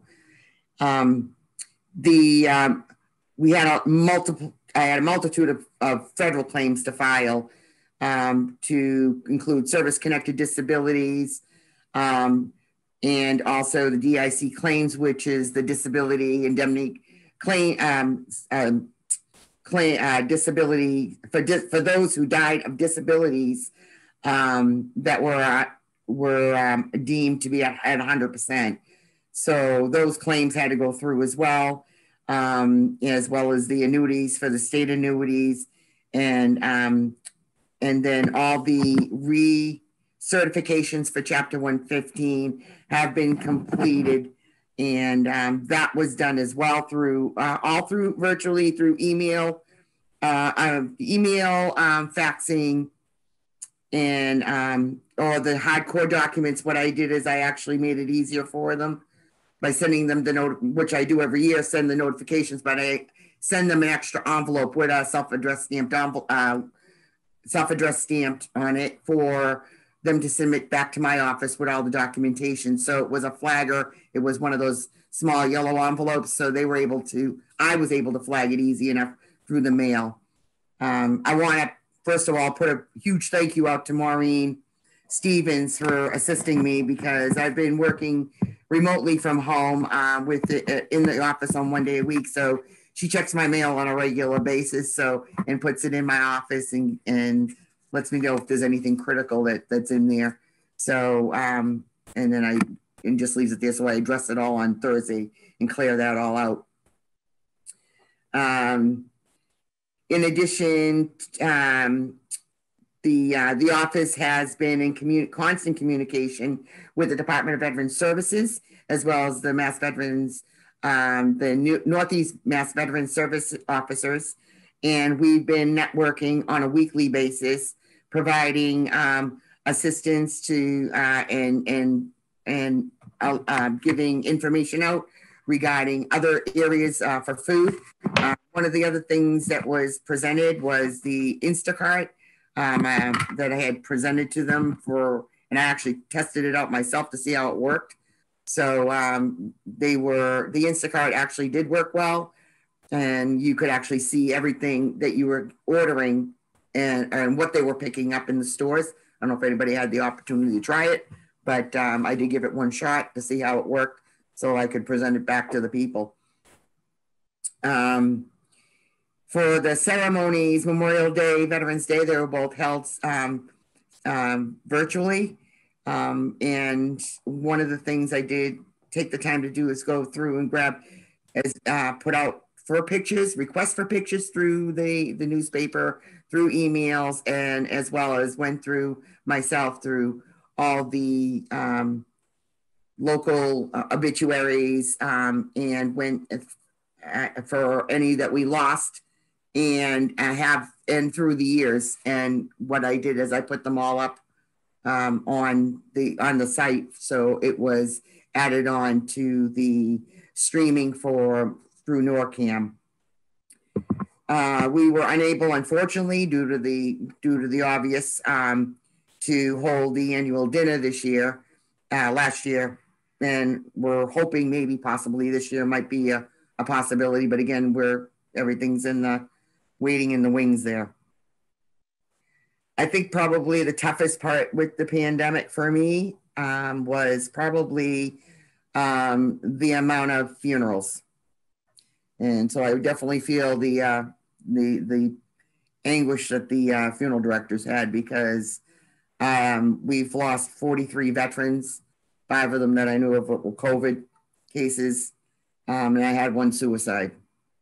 So uh, being and that was just on the veteran for for on the federal side and on the state side we also lost seven people um, from chapter 115 so um, there's been a lot of a lot of deaths surrounding the office which uh, doesn't doesn't a number on you.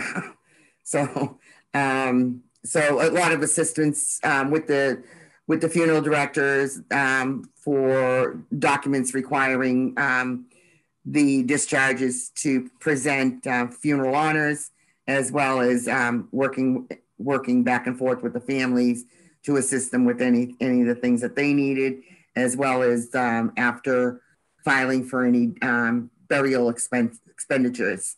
So um, to uh, date, we've done filed 81 federal claims that were um, for Social Security, I mean, excuse me, service connected disabilities aid and attendance cases, and as well as DIC cases and for burial benefits. Uh, we did a lot of um, more. Um, what was I putting there? I'm sorry, I'm losing my my. my uh, the one thing I noticed through this pandemic was the need for the uh, how crucial the outreach is is um, is evident. The need for groups to assist the veterans that are having issues with the PTSD or the MST, um, and just to be able to deal with what they've had to deal with um, on the battlefield or just in the military alone, as well as the those that have lost loved ones um, for grief support is is extremely crucial, um, and and that's where the feel for the the need of that administrative assistant that I've put back on again um, would come in um, because this is an actual boots on ground um, job and it is the, our duties to get out there to, to let them know of the services we can provide for them, whether they're local, state, or federal. Um, doing it just through an email or doing it on an, in a paper is just not is just not cutting it anymore. It just doesn't doesn't doesn't get the word out there. Meeting them in person, having um, uh, assemblies of, of sorts um, or small groupings. Um, those are where they get to know about those benefits and be able to have the time to ask the questions and get the answers that they require. In addition, um, because of the tax, because of the COVID this year, um, I the the the 47 tax filers that I have for the tax exemption that come through the office, the veterans. Um, I did do a mailing out to them so that they had, um, with all the instructions required, um, for them to fill out the forms and bring them in. So it made it much easier to present those over to the assessor's office for filing. Um, and um, there was a lot of assistance with the veterans to apply for VA health care um, to uh, for for their eligibility to get shots. Um, right now, the VA system is still not um, accepting. Though, if you do not have a service-connected disability, um, then they look at the financial end of it, and depending where your finances are, whether you qualify for the eligibility for um, health care through them. Um, and so um, they need to present all their financials in order to see if they do qualify. And then from there, they get the call. Um, the Zoom meetings um, were great, uh, in my opinion, are great to work with. Um, so that was one great way for all of us collaboratively to work together as, as a team for the VSOs. Um, and other than that, I still punching along and doing the job. Actually, I bought myself a big hardcore printer for home so that I could uh, have no problem with printing anything or getting anything out. So, um, nope, or not on not on the town's dime, on my dime. Okay, just so you know. well, okay, so just to, to clarify for your, I for your budget, just to clarify for your budget presentation that um, the the really the one thing that you're seeking that's an increase is the restoration of that clerical person to assist you because it it was budgeted for FY 2020 but then it was taken out of the budget so you're just asking for a restoration of that correct part-time clerical assistant and that's at $21,421 Mhm. Yes. so you put that back into your budget request for this period. Great. And, I- and, and everything else is level funded. All right. So let's go and see if we have any questions or comments for Mr. O'Leary. Uh, Sue, you know, just, you know, like elder services, youth services, you know, veteran services, you know, your outreach and counseling has been critical, um, effective and, and comforting for so many people. And again, I've heard it from members of the community um, that the outreach that you've, you know, engaged in has made a difference. They appreciate it. It was initiated by you, not by them, and, and it's greatly appreciated. And again, the assistance and facilitating of applications on behalf of the veterans, um, North Reading veterans in relation to the benefits that they would be eligible for, you know, is fantastic.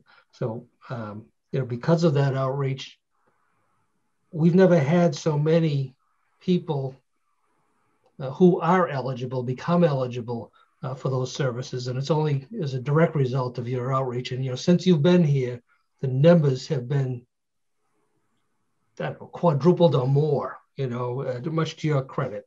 And, uh, you know, for that, you know, everybody's uh, everybody's grateful, you know. And as far as you know, what your needs are, you know, we're hearing it. Uh, certainly, we'll uh, consider it, and if we can do it, we'll do it because it's again, it's another segment of the community that deserves our respect, deserves our deserves our um, support, and um, the veterans here are lucky to have you. So. Um, much appreciated for all the effort that you've done. And again, the challenges that you face over this last year, again, are so different uh, just because of the pandemic, but you've done a fantastic job. Thank you. You're welcome. Thank you. Thanks. Mr. Stuto? I'd just like to say thank you. Um, you know, it's, um, I think I've stated in the past that that's, I feel veterans in general in this country are underappreciated um, unfortunately, you know, just because uh, the times of uh, for all the complaining we do in this country, the times have been pretty good in the U.S. for a while now. So I feel that uh, you know there's a whole generation of people that understand that there's a reason they get to walk around with a thousand dollar iPhone. So I appreciate everything you do. Thank you, Mr. Wallner. Yeah, um, I've been outside your office a number of times. Your clientele, which I think is about 600 people, I believe. That's the number I used to know at least. Um, when they come to your office, they're really coming to see you, and they are really, really depending on you. I mean, you can just tell that, you know, it's it's it's more than just you know you're not just providing customer service. You're providing a link that they probably don't have in any other way, and it's just very impressive to see. So, um, yeah, in this case, if you need something extra to provide, you know, consistent, reliable service to a huge book of clientele, you know, I'm, I'm all for it. So thank you, Sue, for what you do. Thanks, Rich. Mrs. Gonzalez. No, we saved the best for last. So, I mean, this isn't just a job for you; it's a it's a passion. Um, it's emotionally involved with you, so um, you're valuable and we're lucky to have you. And so, so are our veterans. Um, you'll always be a rock star for that wall that heals. Coming in Natick, by the way, they've already called me. Really? I mean, Nahant, Nahant, yeah. Just such, such a fabulous, great thing you did to bring that here. So, um, you know, that uh, uh you absolutely need this help. I know you need this help. Um, so if we can do this for you, we will do this for you. Absolutely. Thank you. Thank you. Greatly appreciated. Mrs. Hurlbut. Um, so you always do a great job. And I know that this year has been particularly sad and difficult, as well as tricky trying to work out how you can do it around COVID. And congratulations on going the extra mile and doing a great job. Thanks. Yeah, I'll just echo what everyone else is saying. It's uh, for all of those running a department with one person. I, I I just don't know how you do it. So just amazing work you guys do, and uh, really appreciate it. And uh, thank you very much. Thank you, Mr. Johnston. I appreciate everything Sue's done, and this year especially. I imagine it was much more taxing with more need and more sorrow to deal with. So good work, Sue. Thank you. Mr. Bailey? Uh, no questions. Thanks for the hard work this year in a, in a very tough environment. Thank you. Mr. Kelleher? Uh, thanks, Sue. You you really do a, a great job. It's a it's a tough job, but it's abs- absolutely needed, and the people you're providing services to deserve everything you can give them and everything the town can give. So thank you very much. Thank you. Mr. Mills? Yeah, I'll just echo what everyone else has to say. Just really appreciate all the uh, hard work and uh, passion that you put into your your job. Um, I don't have any specific uh, comments, questions. Thanks. Yeah, I think with I think with the money clerk stats saved us. I think we should be funding this. I think we should just put it right back into your. We had it there before. You need the help you do tremendous work and you do tremendous work for a tremendous population of our residents, the veterans. So we're lucky to have them and we're lucky to have you too. So thank you for everything you do. We appreciate it. Thank you. I'd like to just put a shout out to to to Mary and and Jen Mary Prenney and Jen Ford too, because we kind of we chimed a lot together this year, you know, and a lot of brainstorming going on and and back and forth trying to assist each other as much as we could, you know. So, you know, it that was that was that was huge, keeping each other's chins up and stuff. So definitely, definitely great. Okay, thank you, thank you, Mrs. Wagner. All right. So I think that concludes all of the departments that we're going to be seeing this evening. And um, in this, if there's no other comment from either from anyone, we're going to move on to public comment for us. all right. Okay. Is there anyone here that would like to speak in public comment? Seeing none. They deserve the opportunity sitting through all of this for us. well, you know, this is our one chance to kind of really directly interface with these departments. So I'm sure people that people are listening and saying, why do they, why do they think? Because we don't get to have this opportunity. So budget presentation is that one time that we're able to directly interact on everything that's been done during the year and, and you know, the needs. So it's important to acknowledge people's good work for the town for sure. So I don't see anyone. Do you, Mr. Gilleberto? There's no chat. People, all right, that's so we can, I guess, move on to the town administrator's report. Mr. Gilleberto.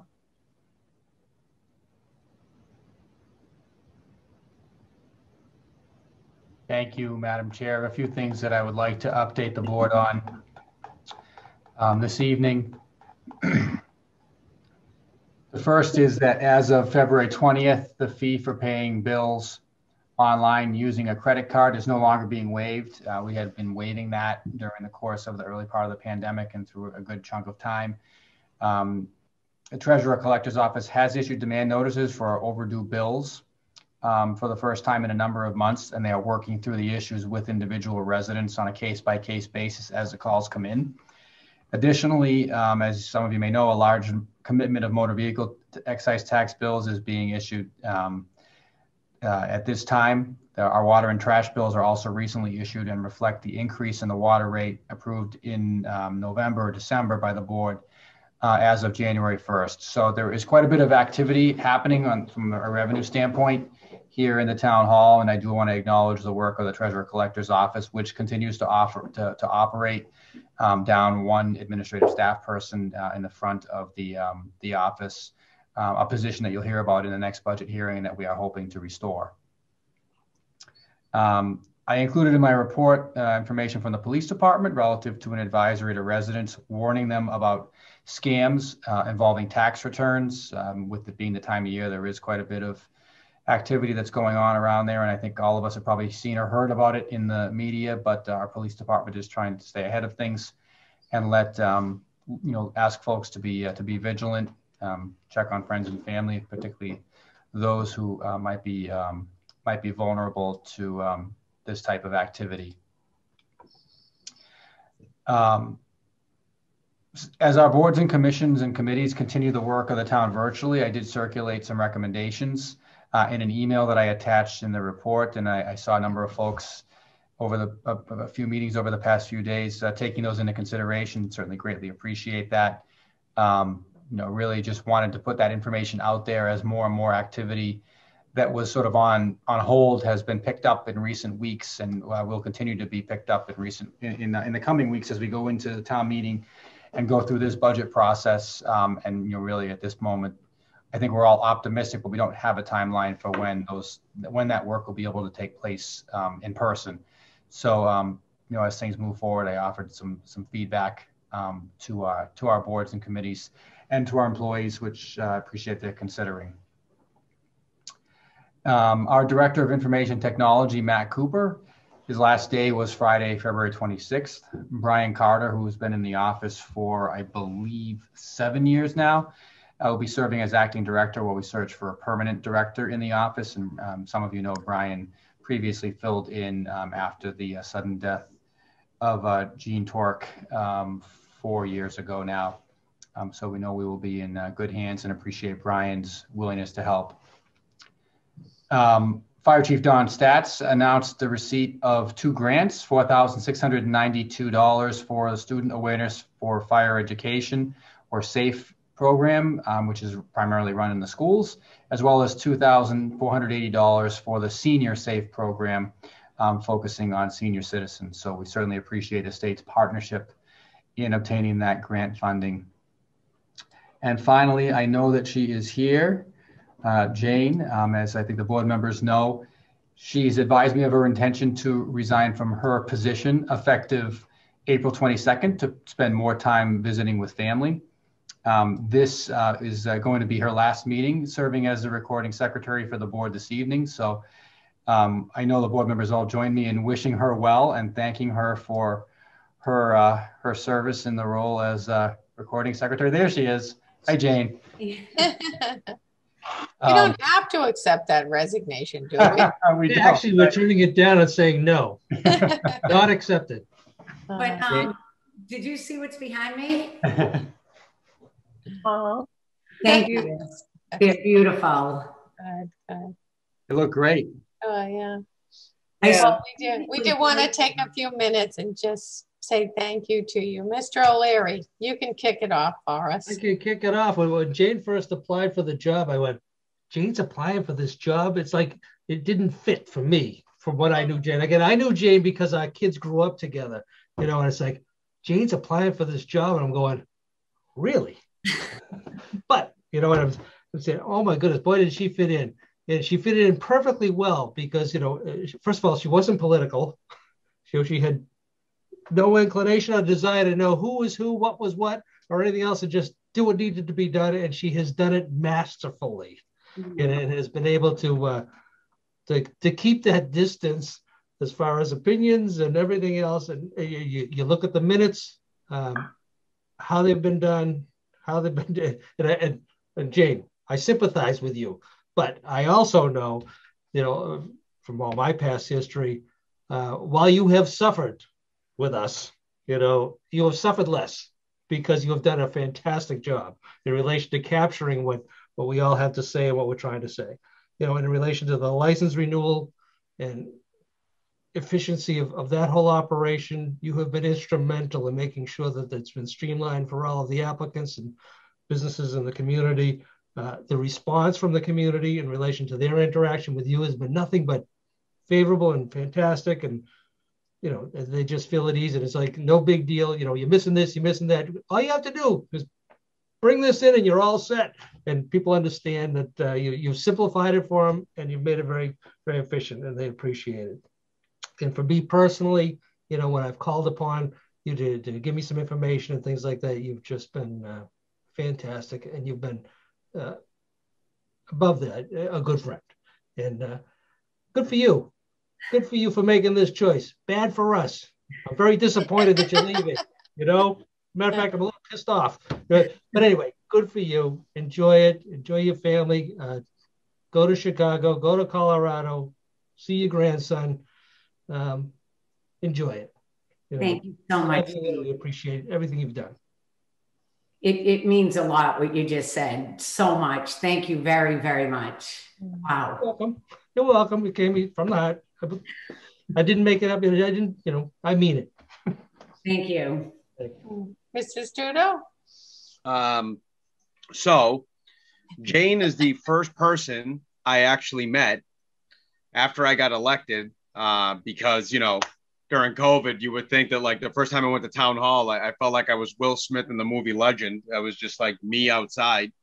And like, you know, Jane was kind enough to come out, you know, and risk her life in COVID to give me some feedback. So I really do appreciate it because it was, uh, it's overwhelming at first, especially when you're in a situation where typically you'd get a crash course in person with all the different board members. And I couldn't get that because of circumstances. So I really do appreciate it. I remember uh, Jane reminded me that I was going to have a baby more than my wife because I think she emailed me every two weeks saying the baby come yet, baby come yet. So I really do appreciate that someone I just met took that kind of involvement in my family. So that's you know that that that sticks out. I mean, it just it's the thought that counts. I think ninety percent of the time. So Jane, uh, you know, I know we talked a little bit like when I would see you out there, but I hope you have a great time with your family. It definitely, uh, I think we took visitations for granted for a while in this day and age. So I think it's a perspective uh, everyone's taking. So uh, enjoy whatever it is that you're going to do, you know, which should be everything. So, and thank you again. Thank you so much. Mrs. Gonzalez. Uh, so I also knew Jane outside of this, you know, before. Um, I can't say enough about just like Mr. Stuto said, you know, when I first came on and, you know, you're trying to figure it all out. And it was always a smiling face. You know, Jane always had a smiling face. I never, she never made me feel like I was bothering her, no matter how many times I popped in there pre COVID when you could pop in there. And um, just always willing to help and, and always smiling and and you, you just never felt like you were putting her out and bothering her. So i appreciate that. And um, don't know how you kept everything straight with us all talking over each other. Sometimes. It's a little challenging sometimes but yeah i'm sure. But i wish you all the best. You deserve it. And you know go enjoy those grandchildren. And thank you leanne. Thank you. Mr Wallner yeah, I haven't really known Jane all that much, but um, our, our exchange, like everybody else, has been very pleasant. I've always enjoyed it. Um, and how you two weed through our verboseness is beyond me. I could never, actually, I read the meeting notes to try to remember or try to decipher what we all said, because sometimes it's very confusing. So thanks for sorting that out for us. Um, but you're not, you, one time you were not smiling. And the one time you were not smiling is during a meeting when the shelves came crashing down your office. That was one time when you were not smiling. And but it, we sure had a lot of interest running your office to see what came crashing down, which was half your office. So um, thanks for thanks for uh, providing levity to um, our, our our situations. Thank you, Jane. We'll, we'll miss you a lot. Hope you come back if you possibly can. Thank you, Rich. And I'll just say from the chair too that, you know, you do things so calmly and quietly and kindly. And I know, I know there's been times when you, when you, I probably irked you and annoyed you, especially with the minutes, but you would never know that with you. And I agree with Leanne. I met you through this service on this board, and there's not a time that I wouldn't stop in that um, you didn't have a smile on your face. You never felt like you were bothering you or disrupting you. And you could have a nice sit down, have a nice conversation with you about anything. Uh, you're probably one of the warmest and most empathetic people that I know, aside from the great professional work that you do and the professional way that you do it. You're just a beautiful person inside and out. And I really appreciate all the help that you've given me and everyone else and all the work that you've done for us. And it's a big loss for us, but we also know, you know, it's time for you to move on in the journey and have some have some fun away from this board. so enjoy. Thank you for everything that you've done. You're a wonderful person, and we really appreciate everything you've done for us and the town. Well, I can't thank you guys enough for. I'm so humbled by everything that you said. Um, like I'm shaken. I'm so humbled, you know. Um, but also, I all I I'm just going to keep this real quick. Um, the, the time and devotion that you guys give to North Reading is amazing, you know, and um, it's been great working with you all. And um, North Reading is lucky to have such devoted people looking out for their best interest. Really, it's it's I've learned so much and uh, it's been interesting. We hope you keep in touch. Oh, I definitely will. Keep us updated on your travels and your your adventures. I will. I definitely will. We'll miss you. And it's nice to see. It's nice to see your face, Jane, because I, I know, know, I know during these Zoom meetings you yes. don't show your face yes. because most of the time you're like this, pulling your hair out, trying to keep track of what we're saying, and what we're doing. But especially with Zoom. I always have my pajamas on, my hair up, my face washed. I, I, I was going to say, you look marvelous this At one o'clock in the morning. Yeah, you look marvelous. I know that's the definitely worst. Put some effort into it. But look at how beautiful these flowers are. Oh, Thank you. that's good. We're You're glad welcome. you like it. Good, good.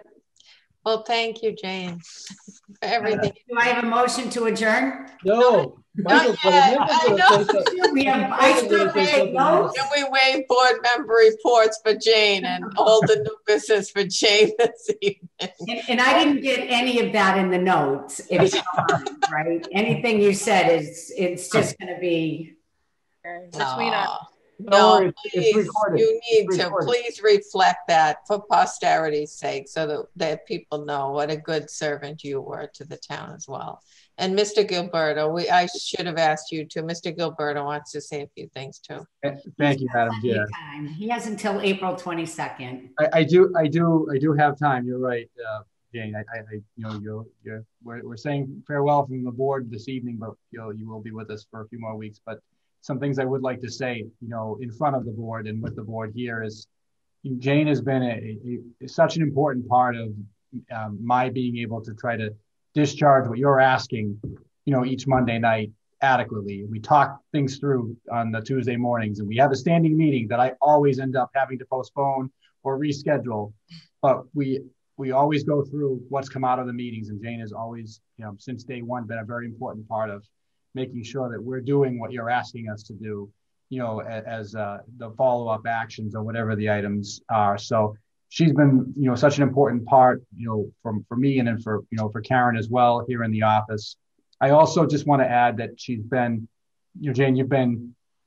I feel like I'm talking in the third person here. Jane, you've been such a great friend, you know, to to to experience the meetings and taking the meetings and, and kind of taking them and, and, and turning the discussion into action. Um, and I, I've really enjoyed that. And some of the board members may or may not know, but you've been such a, a great friend to so many people here in the town hall too. And fortunately for for them and for me, you know, we do have a few more weeks with you here, but um, I want to thank you for that as well. Um, so, you know, thank you.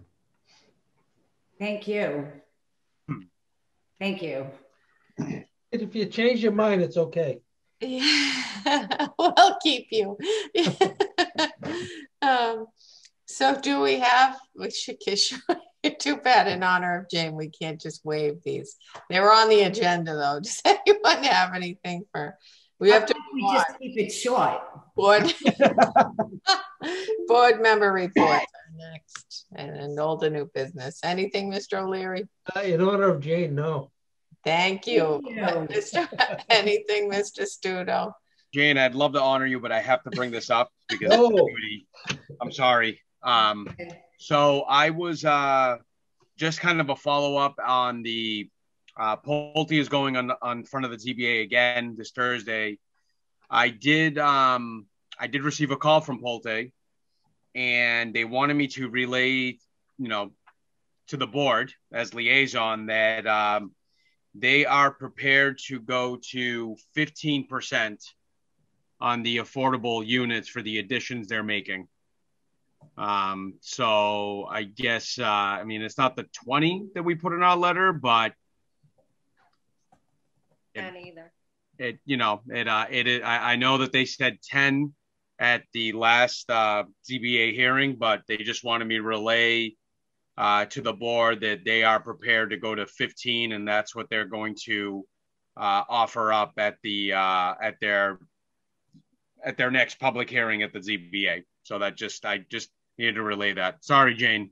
I just, uh, That's on Thursday. Oh, cor- Mr. correct. Yes. So are you looking just for a consensus of the, but you know, go, you're going, are you going to the meeting as? I'm, I'm going. So, and again, I, I I had to share this with the whole board, you know, and I'm just looking for Mm. a consensus, opinion, something. So, you know, when inevitably I get asked what the select board thought about this, I can give an answer. Right, because I think we put that letter in as a result of our last discussion of it. The letter went in, right, Mr. Gilleberto, for the, Right. for the twenty percent as the, in the best interests of the, of the town. So in, in other words, if, if you're called upon to give an opinion on 15%, that's what you're looking for? For the, for what the board's Because I have my opinion, but I need everybody's opinion. consensus on that is, okay, well, we'll just poll the members. What do you think of that, Mr. Wallner? Um, I think the 20% was a fair ask. I'm still kind of dedicated to that number. Okay, Mr. O'Leary? Uh, again, I appreciate Pulte's, uh, first of all, listening and their sympathetic ear and understanding what our position is. I appreciate their um, movement. Uh, I still think the 20% is a reasonable ask. Um, and I leave it up to the Zoning Board of Appeals to make an informed decision. Okay. And Mr. Mrs. Gonzalez? Oh, it's you. Um, I, I think, I mean, I, I'm comfortable with the 15. I think that, I think that's a, a win-win for everybody. Okay. And Mr. Stuto, what's your thought? Um, I um, I agree. I think they moved. Um, you know, I I initially thought the letter was a little strong. I will uh, give credit where credit's due, Mr. O'Leary. Um, you know, I did think your letter. Uh, you know, I, I know we agreed, and you know, we were on kind of opposite sides when we were talking about it. And then they went to ten, and then now, un, again, unsolicited. That that's the big thing to me, the unsolicited part. Um, you know, the ZBA, the, the board, I mean, the board made a suggestion, but, you know, it's not like we talked about it with them. They just kind of, so, you know, that's what I saw that, you know, it, it, was kind of the 10 came out of the blue and then the 15 came out of the deep blue. Best, best way to, you know, describe it. So, um, I think they met us more than halfway to the letter. So that's how I'm looking at it. You know, if zero is their way, 20 was our way, 15 is still, you know, I, I look at it as a win. So Mm. I, I'm in fa- I'm I'm in favor of you know my opinion is I think it's good. Mm. And uh, just from the chair, I, I would agree with you. I think the 10% keeps it it's at, as no harm. The f- 5%, in addition to that, addresses, you know, some of the lack of affordability and what was already there, which, you know, we can't reinvent the past and we can't you know, recreate that. What we accepted as a board unanimously, we accepted, but I think that their willingness to, um, you know, move that dial to 15 is important for the town. And I also think it's important for us, even if it's not a unanimous consensus. I think if it's a majority consensus, I think it's important for that. Um, if if you're even questioned at the meeting, I think it's important to convey that, you know, because we have one letter in saying 20, and if there's a, a consensus that thinks 15 is worth worth considering, you know, worth asking the ZBA to consider, I think that's important too. Mr. Mr. O'Leary, Mr. O'Leary, you had in your hand. relation to what we're being asked to consider at the June town meeting in relation to the overlay affordable housing districts and all those sorts of things. You know, we're, we're looking at a 20% figure. And if we're going to be consistent with that, we're looking about, you know, we're looking at 20% of 50 units as opposed to 20% of 502 units that they have there. Um, I don't think it's unreasonable. And I think if we're going to be consistent moving forward in sending a message, you know, I think the 20% is, is, is the benchmark we should be using. And again, I, I appreciate their listening. I appreciate their uh, willingness to move.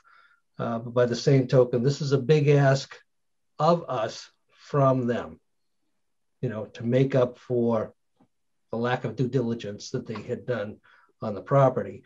And uh, we're willing to assist them in making up for the shortfall because of the unforeseen uh, contamination on the site. But by the same token, I think they have an obligation to uh, assist us in, in meeting our affordable housing needs. And I don't think the 20% of 50 units is unreasonable. So, you know, but again, I, I appreciate the, the willingness to listen, the willingness to move. Uh, but by the same token, we have to be consistent in what we're looking to do moving forward. And I think the 20% is is the issue and in the benchmark that we should be looking at moving forward. And again, that could be that we can move on that, you know, 10 or 15 years from now when we meet the affordable housing needs, but we're not there yet. So I, I, would ask my, I would ask my, my colleagues to just think about that in relation to what we're looking at as soon as June. Right, I understand, but I don't think you we, we've as a board have even voted on the overlay, if whether No. or not that's acceptable to a majority of the I board, don't, so. I don't disagree, but, the, but by the same token, uh, over, overlay districts are a good idea. You know, whether that specific one is is the one that we want to endorse, you know, the overlay district idea being proposed and being considered by the CPC, which appears to be favorable, is something that we should be looking at and considering. And I think the 20 percent benchmark is reasonable. And if we're going to be reasonable and going to be consistent, that's what the message we need to start sending now. We do for new development. I agree with you on that point, but I'm not, I don't necessarily know that we have, you know, we haven't really, we didn't even really pull the membership because we just had that before. The overlay before us is kind of an informational thing. And I think it needs, you know, it needs, we're going to see it, we're going to see it revisit again with, you know, back to us at some point for vote. But Mrs. Gonzalez, you've got your hand up. Yeah, you just touched on what I was going to say. I mean, I just kind of feel like this is apples and oranges as far as new development or the overlay. Like, you know, this Pulte was has already done their thing, and and this is an isolated situation. And I don't think it's a benchmark for going forward. I think it's a, a separate thing that's happening. Going forward, um, I'm fine with the 20%, but I think this is just a separate isolated thing that that we could do a little give and take on. That's just me. Okay. All right. Yeah, it, it, just in response that, you know, what we have here is a situation where they already have 450 some odd units uh, approved. And this is moving forward. This is an expansion of a existing plan uh, that they're looking for to make up for additional costs that were unforeseen on their part. And if they're looking to partner with us, this is future expansion. This is future development. This has got to be, to me, consistent with what we're looking to do moving forward. And it's not a big ask. And again, 15 to 20%, you know, 5% of 50 is not a lot of units, a couple of units. Eight. No, no, no. It, it- it's 2.5 units. No, Oh, but The additional 5% is an additional 2.5, 2.5 units, what they're looking to, to offer. Well, You know, and, and again, if they want to make up for their losses, and again, if they can't make up for all of it, they can make up for a substantial portion of it. We're willing to assist them, but they need to meet us too. That's all. I'm good. Thank you. Okay. Mr. Stuto. response. I mean, I'm and, and maybe I just look at things differently in general, but I don't look at this as a zero sum game. 15% or eight units is actually 7.8, but round up to eight. Uh, 15% of something is better than, you know, 100% of nothing. And it's something where, you know, um, again, I'm, I'm newer to this and looking at it, but from that project and just to even add the eight, I just feel like we do a lot of talking around here about expanding the affordable housing and then an opportunity arises and we're just trying to you know win a back and forth match. Like and maybe i've always looked at this differently but my understanding is that i agree with you mr o'leary should be 100% zba independent but my understanding is too that there's a good chance too just like there was a good chance that they would get this approved without offering anything affordable. So now that they are offering 15 and i'm not saying that should that's it's just an opinion of us. We we don't get to make this decision. However i'm just looking at it that you get eight units here you get some there you know a bunch from mr wheeler's and all of a sudden you're way past that glam number. But this all or nothing approach i just i disagree with it and because i've learned in business that all or nothing usually you just you hand up uh what i'm not even going to say how you end up so i'll i'll spare my analogy there thank you Okay. All right. Okay. Mr. Mr. O'Leary. You know, you're talking eight units or 10 units. You're talking 50 units or no units for them. The town is not obligated, the Board of Appeals is not obligated to issue them or acquiesce to their request. They offered us zero in their first proposal. They offered us nothing. We were asked to render an opinion, or we offered an opinion saying that any future expansion of that development should incorporate some sort of affordable housing aspect to it. And in our due consideration looking forward, it's 20% of any new development going forward. To me, this is an addition to what they have. So, you know, they offered us nothing, then they offered us 10, now they're offering us 15.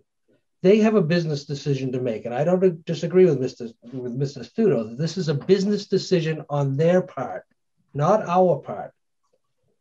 This means absolutely nothing to us if nothing changes. We have factored nothing into our revenue stream for any additional units there.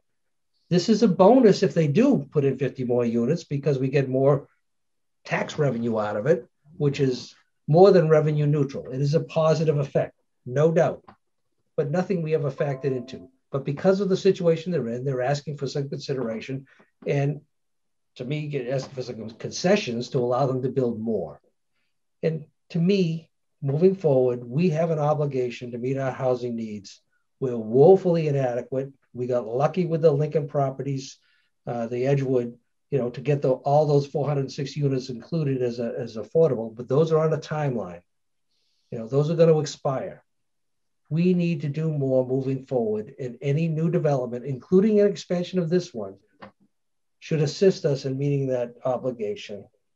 And 20% is not unreasonable based upon their current situation, their financial situation, and what they're asking for. And whether it be Mr. Wheeler or any other new development in town, this is what our position should be so that we can meet the 10% overall and we need to make up for it. And to me, you know, this is not an unfair ask. So I understand the economics of it and Right. the business decision. Okay. But we do, we do have to move on, and I think you at least have a, you have a majority of the board, you don't, have- you definitely don't have a consensus of the board, it's very clear, but you have a majority of the board if, if you're even asked, but it- again, it's not even our, it's not even up to us. But I'm, you know, I suppose because you're there, you may be questioned about it, you know, because it, I think in the last hearing, they didn't make a decision on it, they continued that hearing, so. I'm sorry, that's that's when Thursday evening? Correct. At um, seven? Yeah, seven. I think Uh, seven. Yes, uh, Mr. O'Leary, 7 hmm Okay, is there anything else, Mr. Stuto? Did you have anything else? Okay, Sorry, Jane. Mrs. Gonzalez, that's all right. Hopefully the rest of us, will- Mrs. So- Gonzalez. Sorry, Jane. Sorry, Jane. No, no, that's important for, she, she- Jane's used to No, I us. started it. Mrs. Gonzalez. I have no board member reports. All right, do, you- do- do we, do we, are we lumping old and new business in together, by the way? Yeah, I have no new business either. All right, Mr. O'Leary, do you have? Oh, I'm good. Mrs. Gonzalez, what's your old and new business? We're just kind of lumping it together. Um, I just want to talk just quickly about um, something that um, we did this week for George Souza scholarship. Um, just because it's a feel good. Um, Jerry and I, I, if any of you knew George Souza, he was the manager at the UPS store. And he had a massive heart attack and he passed away. And when that happened, it became clear to the whole town that he touched people. Just, he was just such a kind person who made everybody feel like they were his favorite customer. And nobody else knew that they weren't his favorite customer. he just made everybody feel that good. So, um, Jerry Farrelly and I um, created magnets that said, um, be kind, be like George, be kind. And they sold like hotcakes, and we donated the money to his family. And now, fast forward, um, Dave Benoit from Descoli's jumped in and he would raise money um, also. So we had this pot of money, and Descoli's was going out of business. So he reached out to Jerry and I, what should we do? And we created this um, nominate a person in town that you feel is kind and selfless and giving. And we got 10 nominations, and we were supposed to do three winners. we ended up with, yeah, we ended up with four. Um, so I just wanted to throw that out there. Um, Lena Simone, Penny Richards, Raymond Talk, and Emma Forrestal were our four winners. Um, just for being people that give back to the town, give to other people, make people feel good, and they're just generous, selfless people. So I just wanted to share that. Thank you, Mrs. Gonzalez. Mr. Wallner.